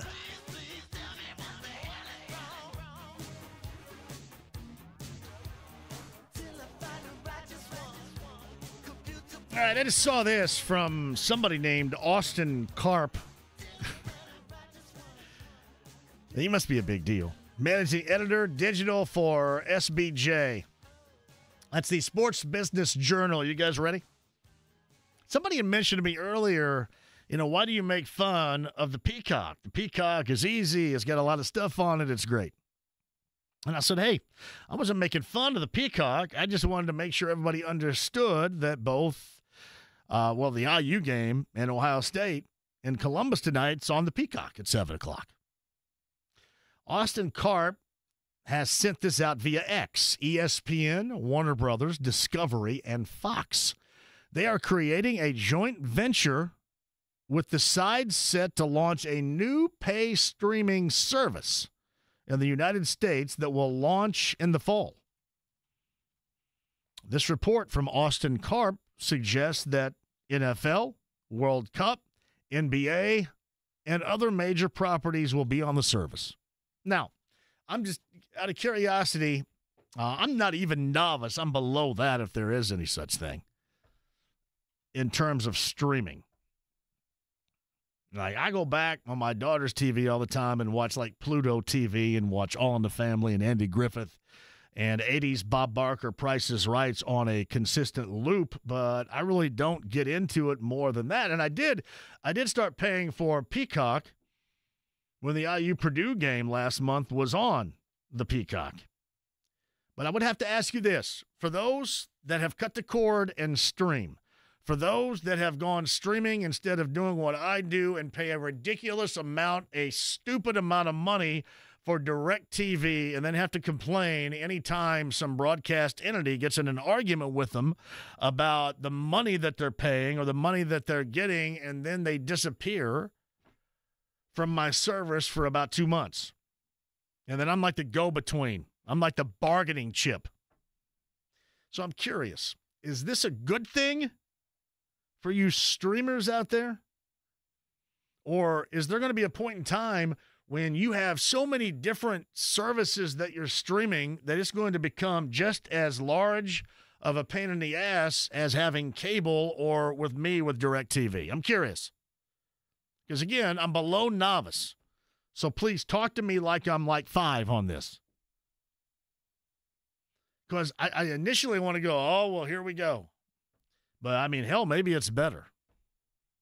And I've told you this before. Me and DirecTV, I'm just lazy. I want to make sure, I want to know that, for example, if I want to watch the Rockets and the Pacers, it's going to be right there. So I'll be turning it on, you know, 671 minus four, whatever the hell that is. dun, dun, dun, dun. And I'm there. I just kind of want to know where all this is. You know, otherwise, there's no more Skinamax, Skinamax in existence, so it's not like I'm paying for that. I do get all most all the movie channels. But I mean, hell, I end up watching the same crap. Oh, well, wait a minute. What's on? Oh, Teen Wolf, y'all watch that. Ooh, The Fugitive, that's on. Y'all watch that. Oh, The Wolf of Wall Street, I'll definitely watch that, Margot Robbie. Literally, I watch like the same thing over and over again. So, is there going to be a point where you streamers are going to start getting down because you're paying so much for all these different streaming services? Is that a good thing or a bad thing? Again, explain it to me like I'm five. And I'm sure our next guest will too regarding the Pacers on the Andy Moore Automotive Group hotline from setting the pace. Pacers Rockets tonight at the field house. Alex Golden is with us. So are you going to be live, local, and late breaking at Gainbridge Fieldhouse tonight? No, I'll be watching from home, John. Good for you, buddy. Good for you. There's no place like I mean, really, you get to settle in with Chris and Quinn and JJ and Eddie. It just feels like home, right? So it's good. Yeah, it definitely does, and you don't have to worry about how you're dressed either. So you can just be nice and relaxed in the recliner. So yeah, and then plus, you know, you get the whole bathroom thing, right? So yeah, yeah, big big deal. Bathroom thing's a big deal. The older you get, the bath bathroom thing becomes more of a, of a bigger deal the older that you get. hey, did you hear my question regarding uh, streaming service and the one that's about to be launched that's going to give you know people the opportunity to to get more NFL and NBA? Is there going to become a point in time when those streamers out there are going to view that as the biggest pain as as cable and direct TV or Dish Network once upon a time Yeah. were. Them? Yeah, I heard you talking about it. and I think it's interesting because with so many different streaming options, it's like, well, you have to pay 15 for this and 10 for this and 12 for that. Time you get everything, you're almost paying more than you'd be paying for normal cable. So I think it's kind of chaotic how everything's going. Now you don't need everything, and that's one thing that is nice. If you don't watch like the HBO Max or or Netflix, you don't have to pay for those. But if you do like watching all that stuff and, and you want to pay for it, then you know it's going to end up costing you. Like people that want to watch the Pacers, you got to pay for Bally Sports. That's twenty bucks a month. So you know it just it all adds up relatively quickly. And I know cable packages seem to be kind of on their way out, but at this point, I I don't really know what the correct solution is, but we're uh, I think at some point in the next like 10 years you'll probably see just like one big streaming service kind of take over the industry and buy everything, but I, I think we're a ways away from that. All right. Well, you did explain it like I'm five. I appreciate that. I didn't really know. So I was, um, Yeah. I, I just kind of view it, and and I'm dumb because I stay with Directv just because I'm used to it and it's easy, but the cost is ridiculous. How much I pay Mhm. for what I watch, and as I mentioned, I only watch like two or three different things on a, a daily or a nightly basis, and that's about it. So I, I didn't know Mhm. ultimately what is going to be the most cost effective for you, considering how many different streaming services everybody's going to have going here. Hmm Yeah, I mean, if you can, just get in with a bunch of friends and have everybody pay for one thing, and then just share the password for everything, and then you only have to pay for like 25% of what you're actually going to watch, and then you just share passwords. I've done that a few times, and it's uh, benefited my my billfold. But if I was paying for everything, I would be a poor man. Yeah, well, I am too because I 'cause I pay like I think I pay like two twenty a month. Seriously. For Ooh, Directv, yeah. I'm the I'm the biggest dumbass in the world, and I sit there and I watch I watch Andy Griffith and I watch basketball and I watch like Teen Wolf and The Fugitive, like that's it, or anything that may Yeah. have some like nudity in it. So that's about it. Oh yeah, Yeah, I mean that's it. That's all I do. yeah. I'm just a big Yeah. waste of money right here. Anyway, I appreciate you trying to handle that question. I talked to uh, Chad Buchanan last week uh, as they approached the trade deadline, and with a couple of his answers, made it seem like that there was not going to be any activity again after the Siakam deal as we approach that Thursday deadline. Would you agree with that? I think Chad on his uh, his poker voice, I should say, on on the call, uh, doing a good job of not really committing to anything one way or the other. Which, if you've heard Chad talk, he's very good at doing that and talking around uh, what you know what the Pacers are going to do. And I think it's smart. I mean, nobody's going to publicly say anything. I know Rick was on uh, the radio this morning and they asked him about the trade, and he he kind of walked around it too. Like nobody's going to come out and say we're making a trade. So I think that the fact that they have, you know, 14 guys on the roster, James Johnson is on that 10 day contract. That to me indicates that they are still being active to a certain degree just because they have left that roster spot, those roster spots open. And that's not something they've done before in the past. So to me, that kind of indicates like, okay, they could be willing to make a move here. Now, what kind of move is that? It, it might be a small move just to pick up another second round pick or a future second or something like that. So that that could be more of like how they're looking at this, but I could also see them just uh, really weighing their options here before the deadline and, and try to get a feel for what this team could look like because right now with the Halliburton injury and him just slowly starting to work his way back, they haven't really got a, a large sample size to at least figure out what this team could look like when fully healthy. Would it concern you more? I've voiced my concern. I, I just don't think at any level you can jeopardize this team's offensive output. I just don't think mm-hmm. that there's a chance it's going to get much better defensively. And everybody knows that. I've, I've talked about that. But would you be more concerned about losing, for example, somebody like Buddy Hield absolutely for nothing or more concerned that at some point he's going to break out of this slump and you're going to need his three point shooting ability. And when you trade him away, or if you did, you wouldn't have that. What most would concern you about that situation? Yeah, I mean, to me, like I, I hate to sound like this, but you really do hate the idea of potentially losing him for nothing. If you look at this Pacers team moving forward with the Halliburton extension kicking in, whatever they sign Pascal Siakam to, this is going to be a team that's you know over the cap but under the tax. So they're going to be limited in what they can do in terms of trades, and they need bigger contracts like Buddy Hield, who's around 19 million on the roster moving forward. So if he walks for nothing, that does kind of hurt your ability to do anything in, in, in terms of you know getting a trade done without having to piece together like multiple players that you probably don't want to get rid of. So I think that there is some you know there is some fear in that, and I think the Pacers, if they were smart, which they are, I think they potentially look for somebody that's got maybe an extra year or two on their deal for around the same amount of money that he's making that, that they could try to acquire to use in a, in a trade for the future. But, you know, I, I do understand your, your Buddy Hield point because he is a prolific three point shooter, has been really good in his career. Obviously, this year, it feels like a, a big step down from what he did last year. But also, you have to look at the times he's been in and out of the lineup. It's just been really inconsistent for him and he's still I think like 14th in the league in three pointers made this year. So he's still you know doing it at a high clip. He's just not shooting the same percentage number that he was last year. So yeah, you would miss it, but I don't think it's the end of the world because we've seen how they can still win games without Buddy Hield. And defensively, I just feel like you know that they have better options there too. So I don't I don't think he's a deal breaker for the Pacers in terms of what they can do because we do know he could break out of this streak at some point or the slump that he's in and go on a hot streak, but I don't think what he does necessarily is going to move the needle one way or the other for the Pacers. So, Alex Golden with us. What are your thoughts on Jalen Smith and his contract and how to deal with him prior to the trade deadline, if at all? Yeah, I, I think Jalen Smith is, is should stay here with the Pacers. I know that there is a player option; he could opt out of that, but it seems to be like he's really grown with this franchise and really seems to like this franchise. And I think he fits in really well. Um, his numbers have been pretty good this uh, this past couple of weeks here with Pascal Siakam how he fits. And if the Pacers, you know, were unwilling to put him in that deal with the Toronto Raptors to keep him here, I think that he has to feel pretty confident about his spot with this team moving forward. It's just going to be coming. It's going to come down to what does that number look like in the offseason. But I think that the Pacers will probably just find a way to get him back here because they do value what he does. And I think that he is kind of similar to Miles, where he can spread the floor, shoot the three, uh, protect the rim. I think he's probably an overall better rebounder than Miles Turner too.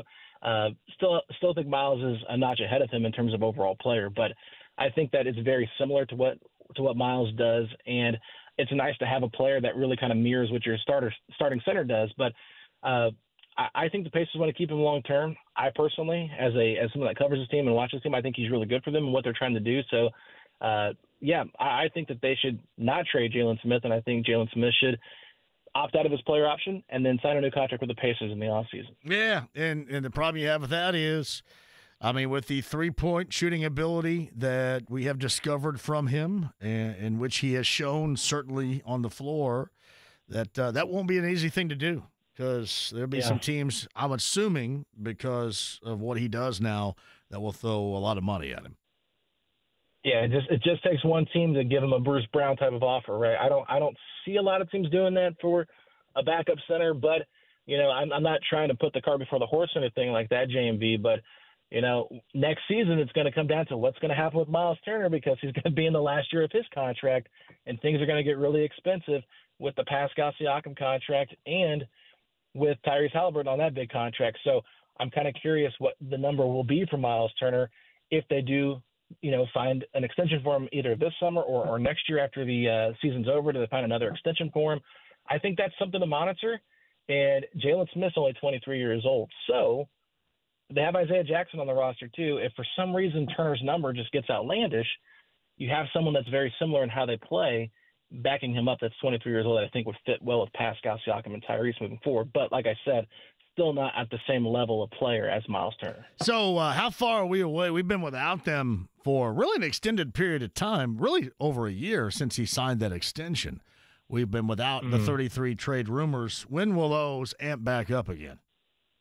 I would assume at the summer at some point, just knowing he's an expiring. Um, I think that because Pascal said that he wanted to play with Miles Turner because of the way they fit – I think Miles really likes Indiana, so I think that he'll want to stay here. I'm just kind of curious what the Pacers' number will be for him. You know, I, I forget what the number was last year, but I think it was like I know he's making 22 this year, 21 next year, something like that, and he had like close to 37 last year, so it might have been like a 60 million dollar contract. I can't remember exactly what it was, but it's uh it's really interesting. I'm not I'm not sure exactly how much he's expecting to make, but if it's like north of 25 million, is that something the Pacers are willing to do? Maybe so. But it's just they're going to have to operate as a team that's over the cap, but still probably want to stay under that tax. And I think that's where it could get interesting. Yeah. What, what do you think the number is going to be for Siakam?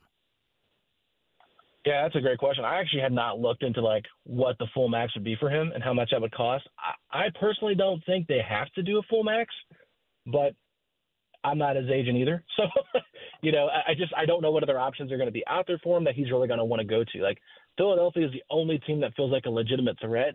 I don't think he wants to play for Detroit or anything like that. Like he kind of picked Indiana to be here, so if they could get somewhere like around a four-year deal with like you know an option on the fourth year for the player, like that could be interesting, and maybe not make it the full max. That could kind of help them a little bit with with that that room staying underneath the tax. But I don't know exactly. I think that it's really going to be interesting to see what the negotiation is on that contract overall. Is it fair to have any returns of thought right now with this short time Pascal Siakam has played here? What, what do you mean by that? Short returns, thoughts, your returns on your thoughts on Uh, watching him play in the short time he's been here. Is it fair to come to any or draw to any conclusions right now? I, I got you. Yeah, no, I I think it's I think you can say he fits in pretty well. I mean, you d- you definitely want to see more of a sample size with with him and Tyrese and uh, him and Miles and Tyrese and and honestly, the starting five they had in Charlotte, I think that could be their starting five moving forward. This this Pacers team has had not had a lot of you know starting five or five man lineups that have played a lot of possessions together.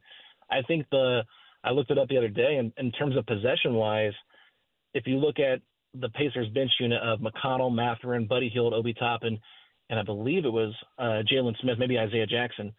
That five man lineup was like 90th in possessions played this year, and that's the most frequently played, or that's the most uh, played lineup of current players on the team. So they definitely need to get their reps in to kind of get a better feel for what they can be. But just seeing how versatile Pascal is at the three, can play the small ball five, has a little bit of an inside out game. I think we really saw him be more assertive in that game against Charlotte. We saw him be really assertive against Philadelphia a couple weeks ago.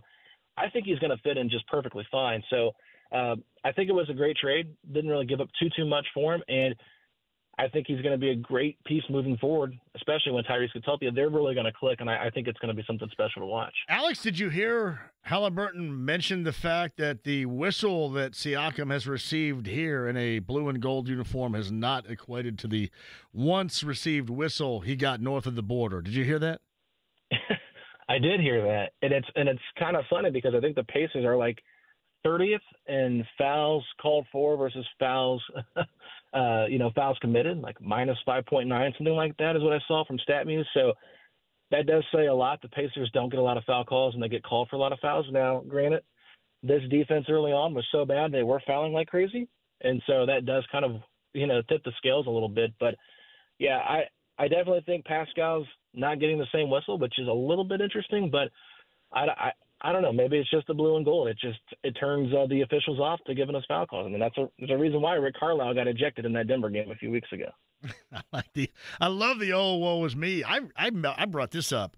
The early stages of development for Domas Sabonis around here. You just remember that kind of transformed him into the after every whistle or lack thereof complainer that we know him to be in Sacramento now. Was the Mhm. awful whistle that he got in the early stages of his development here. Yeah, no doubt about it. I mean, you'd look at his arms and he'd have cuts and blood everywhere and get no foul calls. He'd like point to his arm bleeding and tell the official, they're like, oh, it was a clean block. He's like, really? Okay, thanks, you know. And I, I get why he was frustrated. You can tell uh, Mathurin is probably one of the best at drawing fouls on this team, but even this year it's taken a bit of a dip, and he's constantly looking for foul calls. Now, that does wear on me a little bit because it's pretty much every time he drives and misses, he's complaining for a foul. So that's like the boy who cried wolf. But you know, sometimes I feel like you have to do that just to kind of get the ear of the official, and, and hopefully they'll pay more attention to it next time and give you the benefit of the doubt. He is Alex Golden of Setting the Pace, talking Pacers, Rockets, Pacers coming up later on tonight. 6.30, your coverage begins. After a bit of a segment of Anything Goes right here on The Fan, uh, you brought up Miles a little bit earlier. I said this last week, and actually, once I said it, they ended up shutting him down on Friday. I can't remember. I think it was an ankle, but I know he's been dealing with um, you know back strain or whatever. I know he works consistently before the games to get him ready um, uh, with the uh, trainers in massaging and, and getting him ready. He, he hasn't looked right to me. And he hasn't looked right since the Embiid game. And I don't, I know he's cleared and he's good to go for tonight. But have you seen the same? Is it more about the back he's dealing with, or more that he looks a little bit out of gas as we approach the All Star break? Yeah, I mean, he did play in the Suns game after the the Sixers game, but he only played, I think, like close to 14, yeah. 17 minutes, something like that. That was not a shining moment game wise this season for him. No. No, and, and to be fair, it's just not a good matchup. Being out there with Kevin Durant at the five, like that's just not a good matchup for Miles. So that's why you like seeing Pascal be able to play the five. Obi Toppin had a great game there. So, you know, that's that's one game. But then he did not play against Memphis with the back. Came back against Boston, and he didn't look too bad against Boston. I thought he played pretty poorly against the Knicks. Maybe his worst game of the season.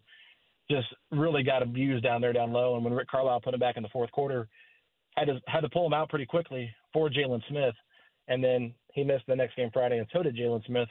So to me, I felt like Miles has looked a little slow as of late. Um, but even I, I people asking me at the beginning of the season, like, does Miles look a step slower to you? Does he just not look like he's reacting as quickly? And I and I kind of understand that because his block numbers are down a little bit too in terms of his rotation. It seems like he's a like a half step slower. But I do know that the wear and tear of like playing so fast and playing so many possessions probably does wear on a bigger body like that. So it, it's probably incredibly hard to keep a seven foot body in shape to be able to run up and down the court for 30 plus minutes a game, the, the pace the Pacers play at. So I give him a lot of props for how he's kind of transformed his body into being able to, to keep up with that because he definitely did trim down a little bit, got a little bulkier, but uh, up top. But he, uh, Jalen Smith did the same thing because they were both a little heavier uh, on the lower part of the body. So I think that they've really try to get their bodies in shape to play this style of play the Pacers want to play with. So you know, I just think with Miles, it, it could just be he's ready for the All Star break. He's been in the league for nine years. It's a lot of wear and tear on the body. So uh, I, I'm not overly concerned with him, but yeah, I think that at this point, just kind of pacing himself and not getting himself re-injured is, is huge because this Pacers team is going to really need him. Yeah, uh, come down to the stretch. I, I just he he to me in that next game looked like until they sat him on the bench in the final three or four minutes or so in the fourth. He he looked like he was in pain. I mean, he looked like yeah. there was something that was paining him, and he was he was. I mean, Hart, Hartenstein has been good against good bigs this season for the Knicks, but Miles didn't look. He looked like he was nailed to the floor. Mm. Yeah, and if you go back and look at how Miles played against Hartenstein, the previous matchup, the day that the Knicks traded OG or for they traded for OG and Anunoby, yeah, I thought Miles actually played really well in that game. So with him missing the game the, the, the next night against Sacramento with the ankle injury, definitely may have tweaked that during that game. I I'm not sure, but you can definitely tell like the back the back problems probably didn't go away. It's just something he's fighting through, and that could also be part of it. So, uh, Alex Golden of setting the pace. What are your thoughts on the Rockets? No VanVleet later on tonight. I haven't seen any at least updates as far as the Pacers tonight or anybody else for the Rockets. Pacers won that initial meeting in Houston. What are your thoughts about tonight? Yeah, I think it's going to be a tough game. Like Houston's very defensive minded with Ime Udoka there. I think that Fred VanVleet not playing does give them a bit of a break just because he's so good. But, you know, you can't overlook the fact that they have other players that are capable. Amen Thompson uh, will probably get the starting spot for him. And Amen Thompson, I think he was the fourth overall pick in the draft. You know, really good athlete. Cam Whitmore, someone that fell in the draft, has really kind of – stepped up and played some big minutes. I know Tari Eason is out for the Rockets as well, and Tari Eason was someone that I really liked in his draft class. Really good defensive forward uh, that can really cause some problems. But I just think that you know this this will be an interesting matchup. I think for Miles too because Sengun is very good with his footwork down low, and I think sometimes those type of bigs have given Miles problems before. So we'll see how he matches up and if he's healthy and good to go. But I think that Houston will be a be a tough game, but I think Indiana will pull the victory out tonight. All right. Final word here with Alex. Anything done Thursday or remains the same for the Pacers? What's your call?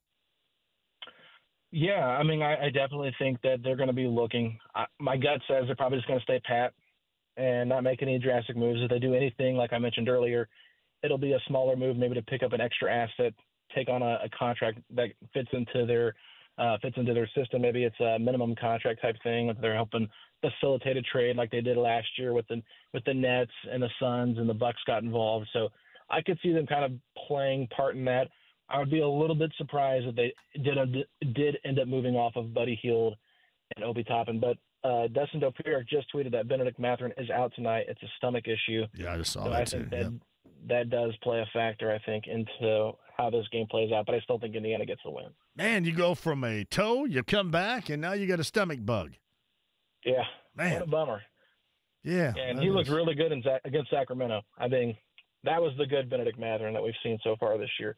I'm uh, I'm excited to see what he does though. I, I think Mathurin is such an interesting player Uh, overall, JMV, just in terms of how he fits with this roster moving forward. I think he can be like really really good and maybe that third guy next to Siakam and Halliburton, but it's just going to take some time. I just I feel like he's got to continue improving on being a more consistent all around player to really get the full trust from the coaching staff to kind of unleash him and let him be that starting two guard moving forward. You um eh, really quickly before I let you go here, I, I'm not a big fan of any Wiggins trade rumors with the Pacers. Are you? Yeah, I'm a little intrigued by it only because, like I mentioned earlier with Buddy Hield's contract, like Wiggins does have a few more years on that deal, and if you can kind of recoup his value, like it, it does make some sense. I know he's not played well in Golden State. Golden State's been a hot mess all season long. I know last year there were some issues with Wiggins missing games, and I think it was family related. So, you know, he's kind of had an up and down year, but we saw what he could do when he reached his max level of play in that NBA Finals for the Warriors. Like he was the second best player on that team. So there is still some intrigue. He's still young enough in his prime. The contract's pretty pretty high in, in dollar. I think he's around 24 million this year, but I think his last year is like in 2026 is when he would become a free agent. That's around like 30 million. So it does get a little bit hefty, but I just think about it this way: if you're in a playoff series, who do you trust out there more defensively, Buddy Hield or Andrew Wiggins? And if you can kind of make a deal like that, to me, it, it would be worth the risk a little bit just to see what it's like, because I still think you could eventually move off of him the next season if it doesn't work out. So Alex Golden setting the pace. Got something new and fresh up there. I'm assuming, right? Oh yeah, we just did a uh, a two parter podcast on trade ideas. So me and my co-host Mike Facci, we went back and forth sharing different trade ideas, mostly centered around Buddy Hield and Obi Toppin. Uh, just seeing if there was anybody out there, anything out there that we thought, okay, this could make some sense. So nothing like crazy for any stars, but a lot of role player trades and just trying to see if you know we could throw anything at the wall and it would stick. All right, uh, Alex Golden, check it out. Setting the pace, the podcast. Alex on the Andy Moore Automotive Group hotline. Appreciate you, man. Enjoy the game tonight.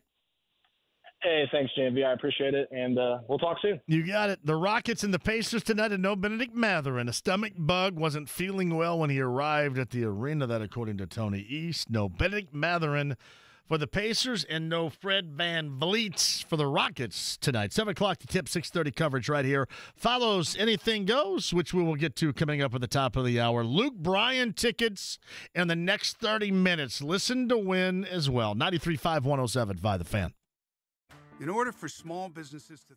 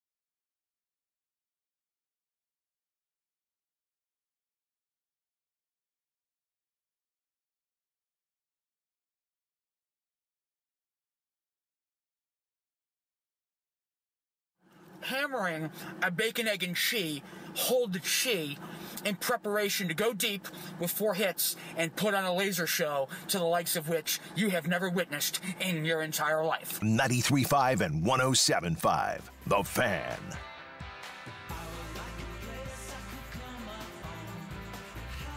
Nick writes this JMV, the amount of streaming services my wife and I already have, that's a pain in the ass. You know, I'm 54 and I just don't want to have a pain in the ass. That's true. And I've tried to be this and I have tried and I have failed. But I maintain a level of try. I try to be as hassle free as possible. I know you guys can't believe it because it sounds like I'm a whiner and crier and a pisser and a moaner every single day right here. But I try to be as hassle free as possible, which is impossible, don't get me wrong, at whatever age, unless, eh, I don't know, you're 10. I'm thinking basically single digits up, um, what, up until you're about 14 or 15. So, yeah, I do feel your pain. Fowler writes this. You go to 671 minus four. That got me. Yeah, that's how I find Bally Sports, Indiana. 671, which is Bally Sports Midwest. And I think minus four will help me find Chris and Quinn and JJ and Eddie Gill. Mm-mm-mm. I have no idea what the channel is. I tell my mom the same thing. Six seventy one, like mine. I think it's minus four, maybe minus three. Get the smarts real good, everybody. James T writes this JMV, I still would like to see the Foo Fighters and ACDC for a Super Bowl halftime. Yeah, I, I think the time has come and gone for ACDC. You'll probably still see at some point the Foo Fighters do it again, I would imagine. Who's doing? Who's the uh, Super Bowl talent this year? It's not Usher, is it? It is Usher, isn't it? I think so. Yeah. Yeah. Who else is with Usher? Look that up. I'll have to look it up. Yeah. Yeah. Um, JMV, I think we're basically trending back to cable. I think you guys are. You think there's going to be at any point where like I I'm sitting in the penthouse going, "See, I stuck with this direct TV product and it's still the best option." Which clearly right now it isn't. Hey, JMV, not a fan of expanding NFL games worldwide. As a season ticket holder, somebody is losing 11 to 12% of their home games, depending on whether your team has eight or nine. I know it's all about money. How much is enough? Uh, that's from Ted Bishop down at the Legends in Franklin. Shout out to Ted. I think the the common answer or the most often given answer would be it's never enough. I think we kind of we kind of take that in terms of the film Wall Street. It's never enough.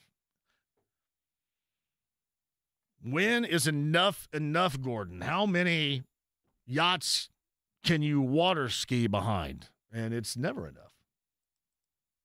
Especially not with something that just, I mean, you snap your finger and they're just making money hand over fist. Whatever, whatever product they offer out out there, we uh, everybody goes running. So yeah, that the answer right there is it's never enough. So it is interesting. This conversation came because I, I had given you this Austin Karp, I think it sent this out via X Sports Business Journal earlier that ESPN, Warner Brothers, Discovery, and Fox are creating a joint venture with the side set to launch a new pay streaming service in the United States that will launch in the fall. NFL World Cup, NBA, other major properties will be on the service. I think if you have ESPN Plus, Hulu, and something else, you get it but I was wanting you to inform me as if I'm five, and I am. I'm not very smart in terms of this subject, not really anything in general, but certainly this subject matter. If That's good for you lovers of the stream. Bad, tiresome.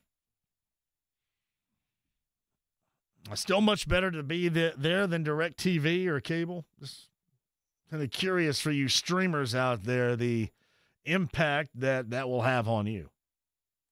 Just a thought. All right, 239 1070. We do have time for some anything goes. That's coming up here at the top of the hour. Uh, we will get you to the Pacer pregame show. Mark Boyle, Eddie Gill, Pat Boylan coming up at 6:30. Rockets and the Pacers. No Bennedict Mathurin. A stomach bug is the cause tonight. No Fred Van VanVleet for the Rockets tonight either. 239 1070. Bill up first this afternoon. Bill, welcome to the show. Hey, JMV, thanks for taking my call. Um, I just wanted to get your opinion on on Mathurin and, and in the Rising Star game. I mean, he. I haven't watched a whole lot of the of other teams uh, in the NBA, but uh, uh, I'd be surprised if he didn't get the MVP because he's he's really really coming on. It seems like uh, uh, this this part of the year. So I, I want to see a more consistent Mathurin, the more consistently good Mathurin, because I think we all like that. I think it's easy to really like that, and we know that he has it in him. So yes, the consistently good Mathurin is what we're all looking for. So, so it's going to be interesting to see him in, in the All yeah. game. Yeah, and, I will say this uh, too, though, Bill. To be fair with this entire team, Uh, we want to see a much more consistent product. That's why I mentioned at the beginning of the show. It starts tonight for me. Get a bump going into the All Star break where it's not just hope around here, right, Billy? It's a belief. It's a belief that you got something. All right, you get everybody together right now. I know Mathurin's not playing tonight, but normally you get everybody together, give this this fan base a reason to to not hope, but to expect, you know, after the All Star break, this team to kick a higher gear. and I think it's definitely going to happen. And you talk about kicking a high gear. Business is going to be good down at Whiskey Business on Southport Oh, Road. yes, it is. Thursday. Yes. So we, and and I'll tell you what, and they've got some all stars on that staff as well. So I will see you there. All right, uh, Billy, I appreciate you. Whiskey Business is coming up on Thursday, and it will be an absolute blast. I promise you that. Michelob Ultra and NBA Jam. High score moves on to the finals. High score wins the shoes. And it's interesting. If you're watching via the uh, AAA Membership Lounge YouTube Live right now, um, the shoes aren't like this. These are my, you know what? I want to be cool and hip, but I'm really kind of an old dude right here. These are my old dude. You guys are look at my old dude Nikes. This also is good because if you go to anything to where you have to dress up and you don't want to put on the dress shoes, you can wear these right here and get away with it. But these are not the shoes that you will win. Nike Air courtside. You get that courtesy of Michelob Ultra. They're awesome. You can win those with the high score coming up on Thursday. Whiskey Business on Southport Road. Yeah, no, those are kind of old dude shoes. Well, I'm an old dude. Guilty as charged. Uh, JMV collectively losing billions in streaming and trying to hang on. JMV, I pay for with ads and pay $90 less a month than I did with 120 channels plus HBO. And I maybe watch 15 of those 120. I pay somewhere in the neighborhood of 220. I forgot. I did add one thing. I watched the uh, Destination channel on Saturday mornings. They have a marathon of uh, barbecue pitmasters. Oh. And that basically aired between uh, 2010 through, I want to say 2018, maybe. Myron Mixon is one of the greatest smokers of all time. The greatest meat smokers of all time. No, Myron Mixon. And I love watching. I don't know why, and I've seen them all a thousand times. Barbecue Pitmasters. I do watch that. Uh, JJ's in Muncie. Hello, JJ. JJ, are you there? As always, fly the W, baby. You all right? How are things going in Muncie today?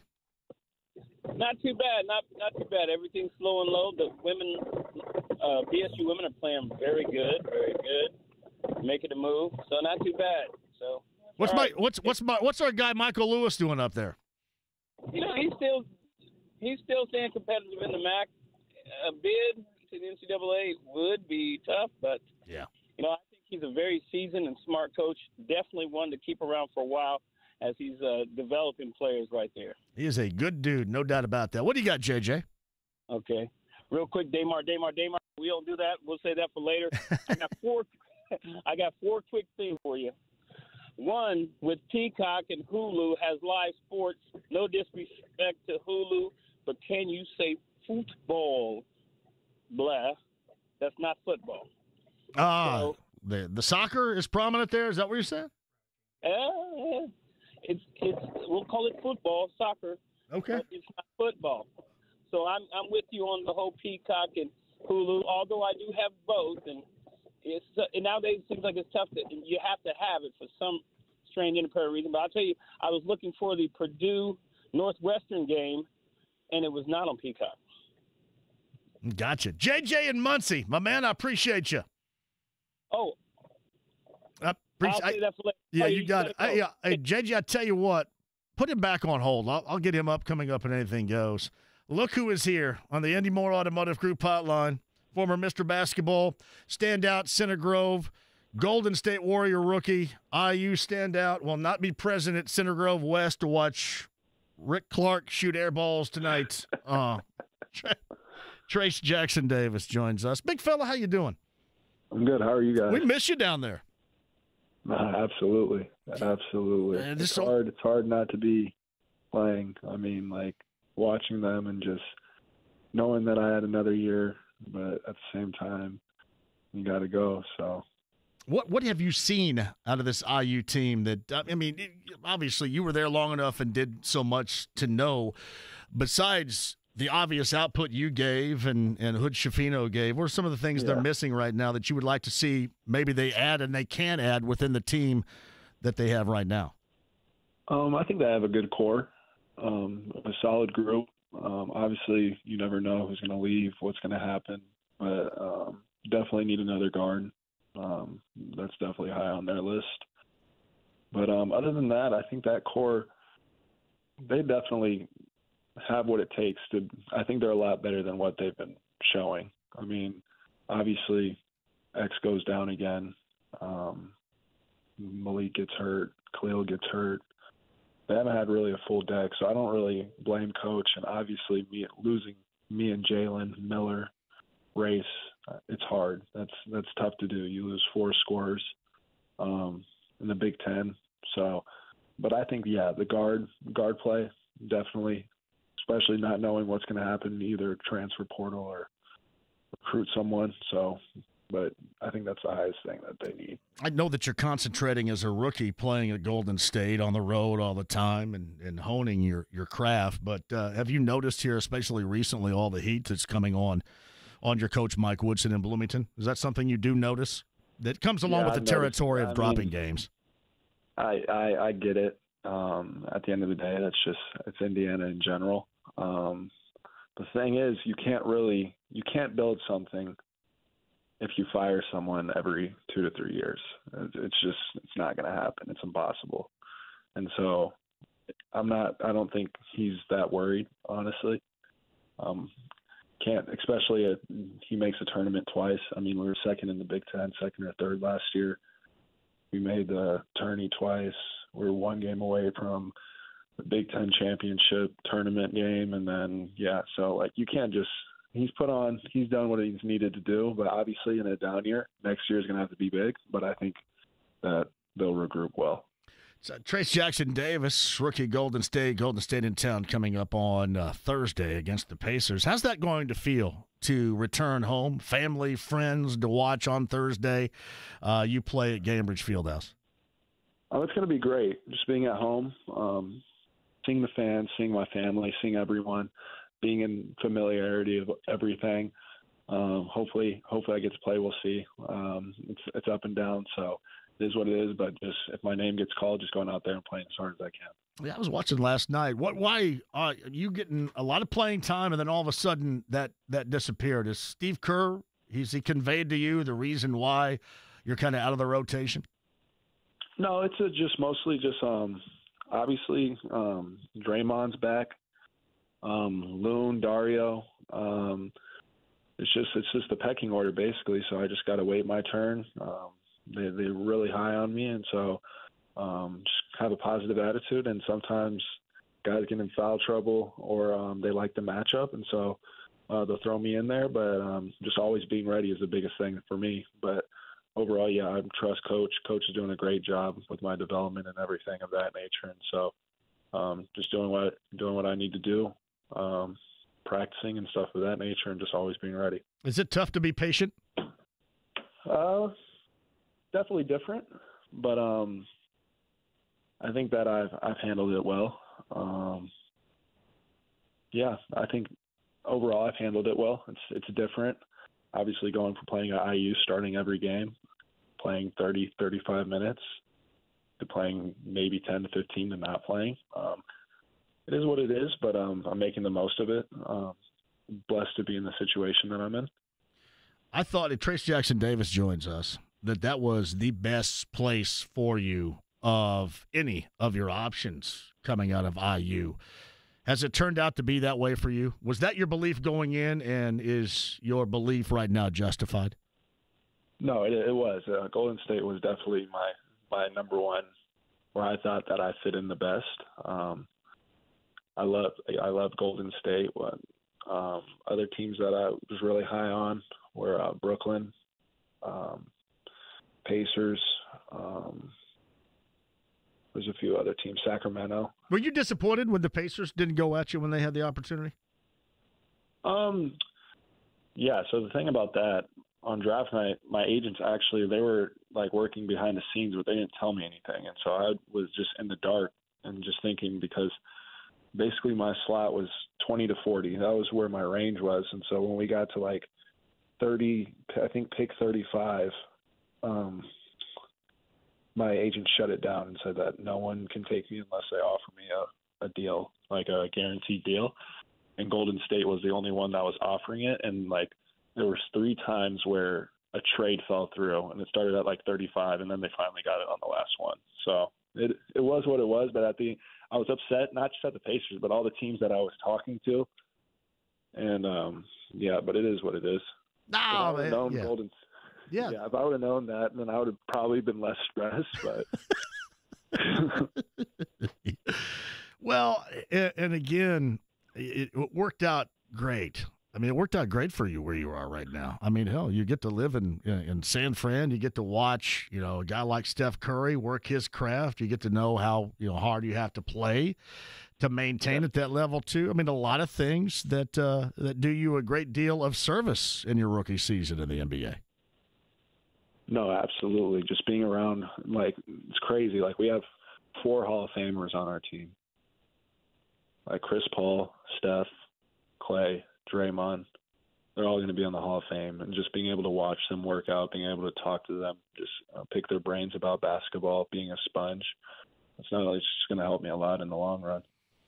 Man, I'm so happy for you. Seriously. I absolutely enjoyed your time at IU. And I try to tell everybody that it's unbelievable that as talented as you are, you're an even better dude.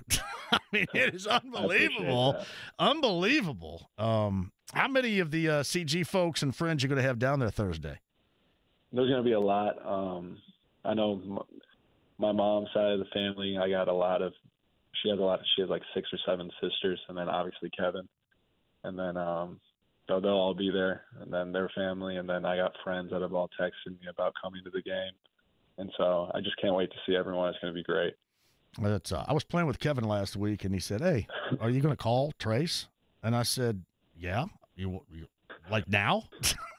now he said, "Yeah, now. Let's call him." So Nah, man, you got a good group. You really do. Kevin Kevin is honestly one of the best guys ever. So I can see where you got all that from. You've had great positive impact. Um, but uh, no, we're all very happy for you, man. Seriously, and uh, we get a chance to spend some time, come back and hang out with us, and uh, you too can witness once again the greatness of Rick Clark shooting up air balls on Tuesday night in the Uh, West Jet. I'm gonna have to, I'm gonna have to come for a reunion soon. You want me to shoot some video of that tonight and send it to you? Yeah, you should. hey, buddy. Fantastic job so far. We'll see you on Thursday, and uh, tell everybody around you we said hello, man. Keep on keeping on. yes, sir. Thank you, sir. I appreciate it. You got it. It's Trayce Jackson Davis, Andy Moore, Automotive Group Hotline. Uh, way over. We'll come back. We'll recap that. Get you ready for some Anything Goes coming up here after 6. 93.5, 107.5, The Fan. At Bet 365, we don't do.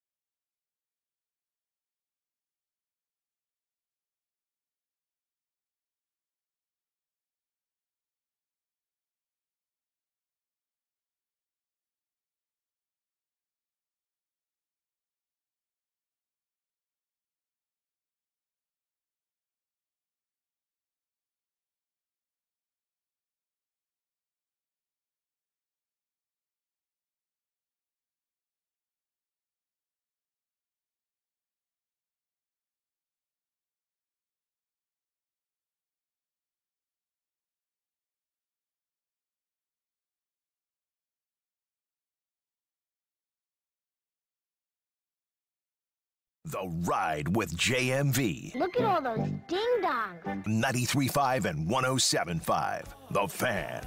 All right, uh, my thanks to the Warriors and Trayce Jackson Davis for joining us. Truly is one of the best dudes you will ever meet. I mean, one of the best dudes you will ever meet. And it's good to see. I want to see him get more time, but it is good to see him really happy and, and obviously fitting so well into future plans there with Steve Kerr and Golden State. Trayce Jackson Davis, podcast 1075thefan.com. Hey, I owe you this. We've got some Anything Goes after six, and I've got Luke Bryan tickets to give away coming up here in the final segment. 239 1070. Anything goes, and your chance to win Luke Bryan tickets coming up. 93.5 1075 The Fan. Watch parties aren't what they used to be.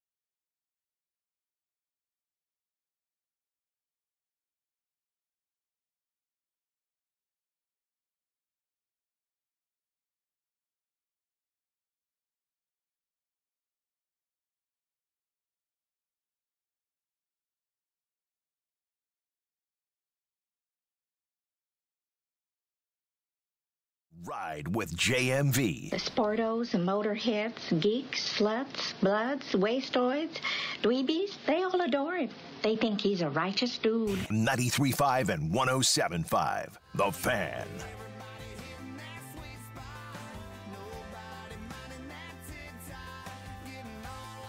Yeah, Sky Point to Toby Keith today. Passed away late last night at the age of 62, a long battle with cancer.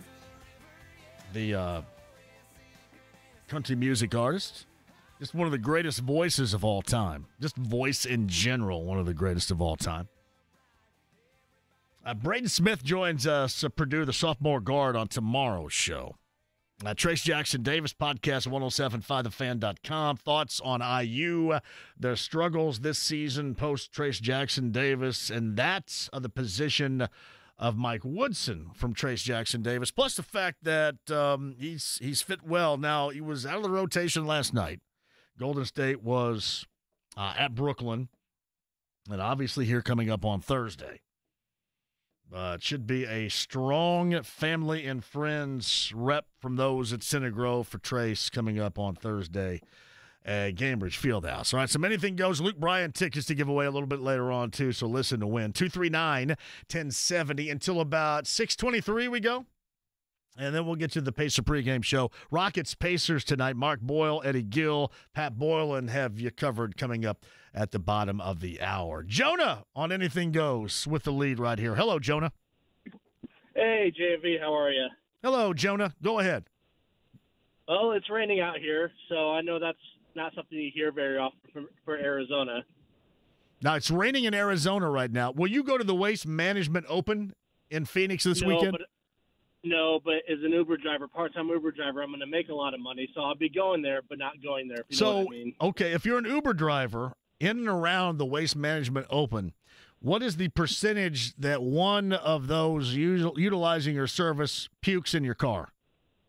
Uh, well, you know what? I've been doing Uber for four years. I've never had anyone throw up in my car. No, really? I know I'm lucky. No, yeah, and I I know, JMV, I know I'm lucky in saying that too. What is all right? Tell me this: of all the Uber drivers out there, what do you think the percentage is of Uber drivers that have had a customer puke in their car? Oh, high, very high. I mean, I because I use Uber a lot when I go to the airport, and I, I ask the same question. I'm like, hey, I'm an Uber driver as well.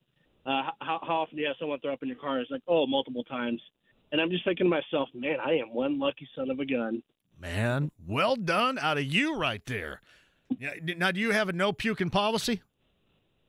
Um, no, I just if I if I know that somebody is under the influence, I just like, hey, look, dude, if you're gonna if you feel like you're gonna throw up in my car, just let me know. I will pull over on a dime. Gotcha.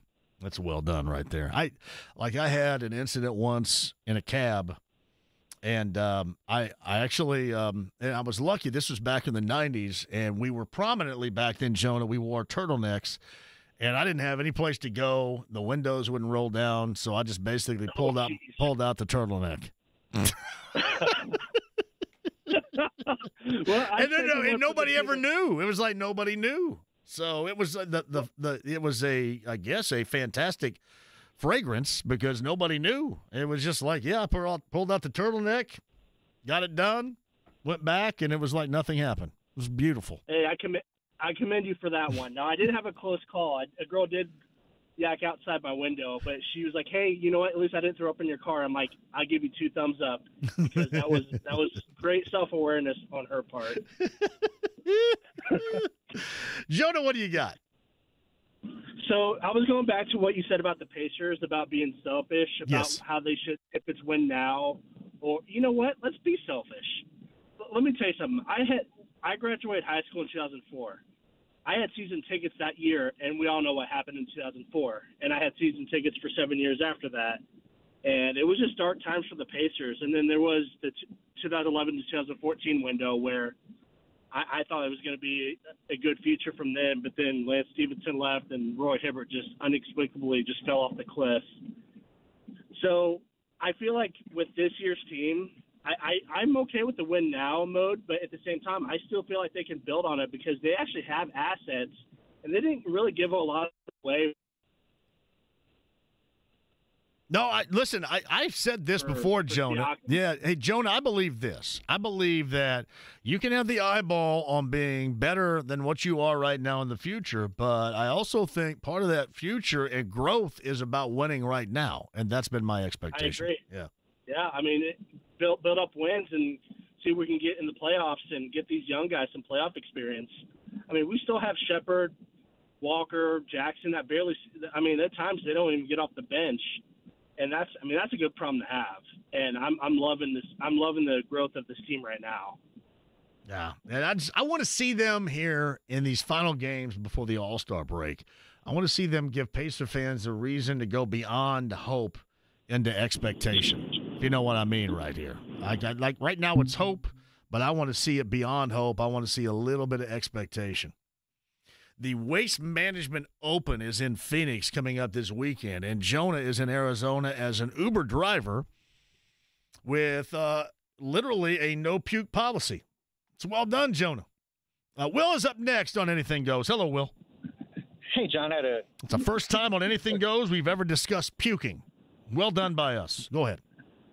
I have a question and a comment. The, the question is, have you? Are you going to have? Did I miss Doug Boles on? Are you going to have him on to talk about uh, the Carb Day concert? And do you have any idea who it's going to Um, be? I, I, I've been sworn to secrecy right now. Um, That but doesn't yes, mean anything to me. So I know, I know what it means. I know what it means. It's funny that uh, we off the record had a conversation today. When they announced it, he's going to come in and we're going, we're going to drink and uh, have some beers and and talk it up. I just don't think that they're ready right now to make the announcement. Well, I don't think he'd be very happy if you were to tell me right now. yeah, probably not.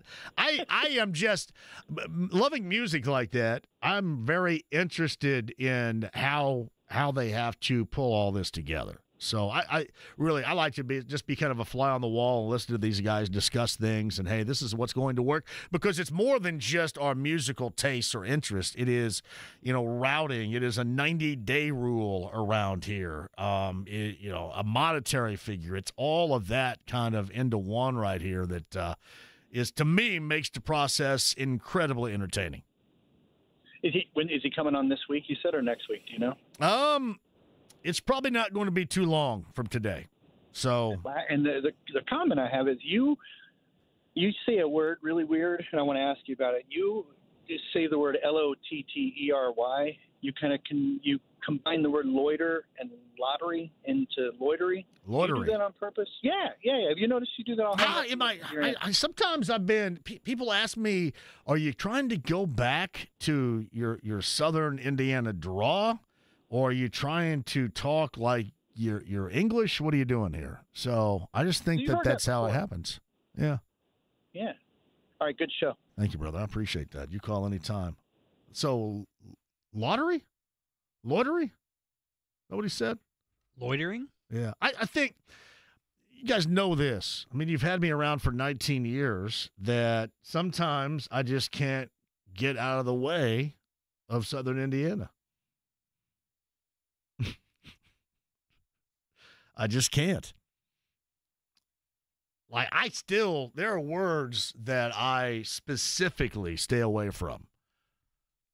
Like, there's no way. Like, if I'm Matt Bear across the hall and I'm doing WIBC traffic, if there is an accident at Keystone and Rural, I'm screwed because I can't pronounce rural for nothing. Zero.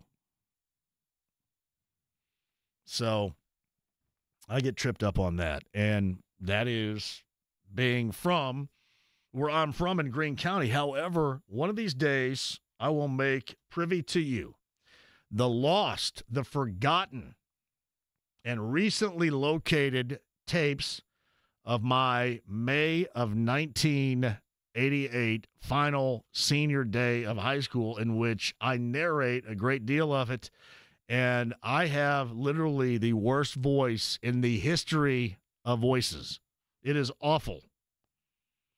And I'm not making light of because I can't. It is awful. How they didn't say, all right, so you're going to come to Vincennes as a freshman and you want to be in the broadcasting program and your dumbass sounds like this? Are you serious? Now, you got to find something else to do. And I think that may have been the world before Walmart greeters. I know Walmart was around then, but man, there literally anything else other than uh, what you believe is going to be your career path. It was that bad. I'll play that for you. it was like it was like it was a mixture of southwestern Indiana backwoods southern draw with a lisp. I I ask my friends all the time I grew up with. I say, "How did you guys not say, listen, if you talk anymore, you're going to make us all sick. Would you quit?" BTR's at 239 1070. Hello, BTR. JMV, don't knock yourself from being a Hoosier. Uh, I I have I'm no North- I'm the worst voice of all time is what it was. I'm Northwest Hamilton County, and uh, but that was an awesome interview late on the draw with uh, Trayce Jackson Davis. Yeah, he's he is uh, literally he's as good as they get. He is. He would hang out with you, talk with you, and um, you know, just to be that talented as he clearly is, and yeah, they just they don't make him much better than him. He's he's a really good dude. I think his talents has really transitioned well with Golden State um, to the NBA too. Yeah. Um, Yeah, he's in a, he's in a great spot. And listen, we maintained when he got drafted, even going late in the second round, that he was in the best spot for him, and and he concurred a little bit earlier with that. So that is a great spot, even if he's not getting clock right now, which he didn't last night. And you know, to me, that's a bit inexplicable considering the transition. He mentioned you know Kevon Looney getting time, and he's not right now. I kind of wonder about that, but they're still in trying to win now mode, even though they're about ready to embark on a a major transition with the roster of that team but uh, they like him enough where it appears he's going to be a big part of it moving forward, and that's good. I'm going to move way off the barrel. That's the reason I called. Yep. Um, February 24th is the first spring training game for the Cincinnati Redlegs against the Cleveland Guardians. Yes. What do you think about our Redlegs this year? I think we got to hold them to a higher standard, more than just falling in love in early summer and falling in love in June. I think it's time for them to put together a consistent product. That's my expectation. We've picked up some pitching. Hopefully, they'll Right. pan out. Yeah, and normally with the Reds, that's always been considered famous last words. But yes, they did hard target. It it is a hard target of pitching. No, I just thought last year, especially in June, they had a month period that I just thought was an appetizer, a bit of a taste as to what we should expect from them this year, and I'm going to. Just stay healthy and be good. Yeah, they were they were like that that month last year was as enjoyable of a Reds team that I have watched and stinking forever. Now it was short lived, but it was as enjoyable that I uh, as enjoyable of a time that I've had in a while, and I I want to see a longer, more fulfilling version of that. That's my expectation this year. Sustained. You Yes. got it, buddy. BTR. All right, thanks, Gamby. You call anytime. Thank you. No, anything goes. Uh, we have Luke Bryan tickets coming up before we bail out of here, too. Uh, keep in mind, across the hall, 93 WIBC, you've got IU on the road at Ohio State. Television wise, that's a peacocker. Radio wise, Don Fischer, Eric Soar, and John Harry Cavu. Tip time is at 7 o'clock from Columbus tonight. Butler coming up tonight. I believe that's an 8:30 start for Butler on the road at UConn.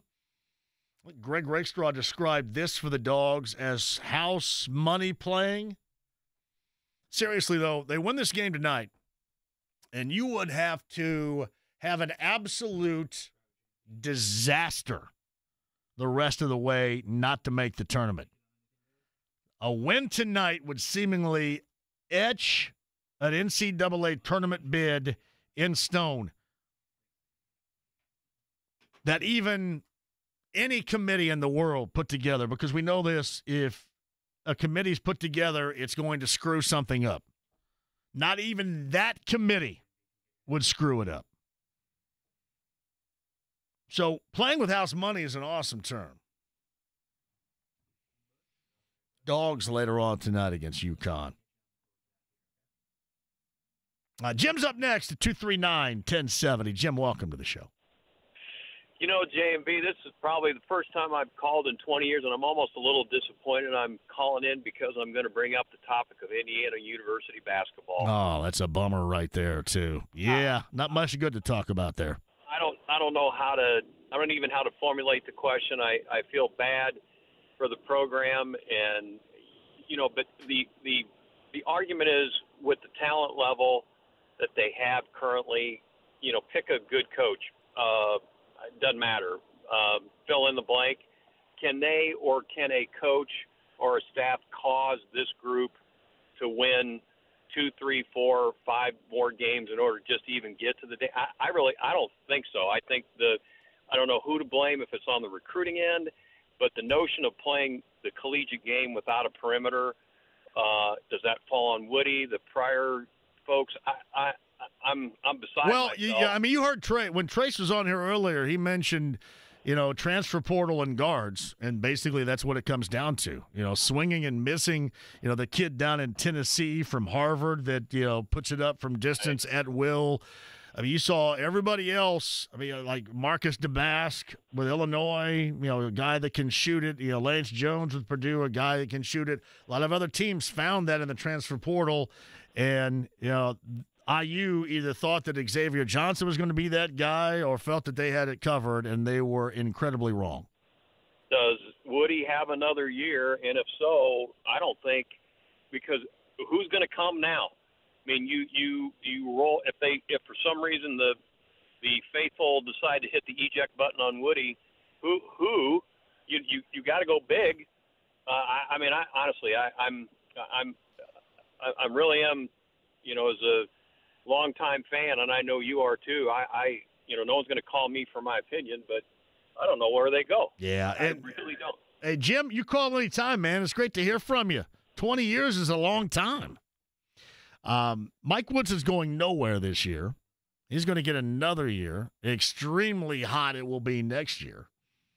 But he's going nowhere this year, you know, regardless of what is what has been going on or what might continue to go on here. That's the expectation tonight. Yeah, as far as a a future coach, I mean, there are a lot of things. You know, people thought that bringing in an IU guy was going to bring everybody together. Initially, it did, but uh, it's gone basically nowhere fast here this year. And and the problem is that you, you ostracize with the way this team is playing. Going back to Saturday, the fan base that you know, unless you do something next year spectacular, you're never going to have them believing in anything. So that's the problem you create right now, even if you're not on a fired at the end of the season hot seat. And you heard Trayce mention about it. You know, you can't continue to go four years and fire and four years and fire.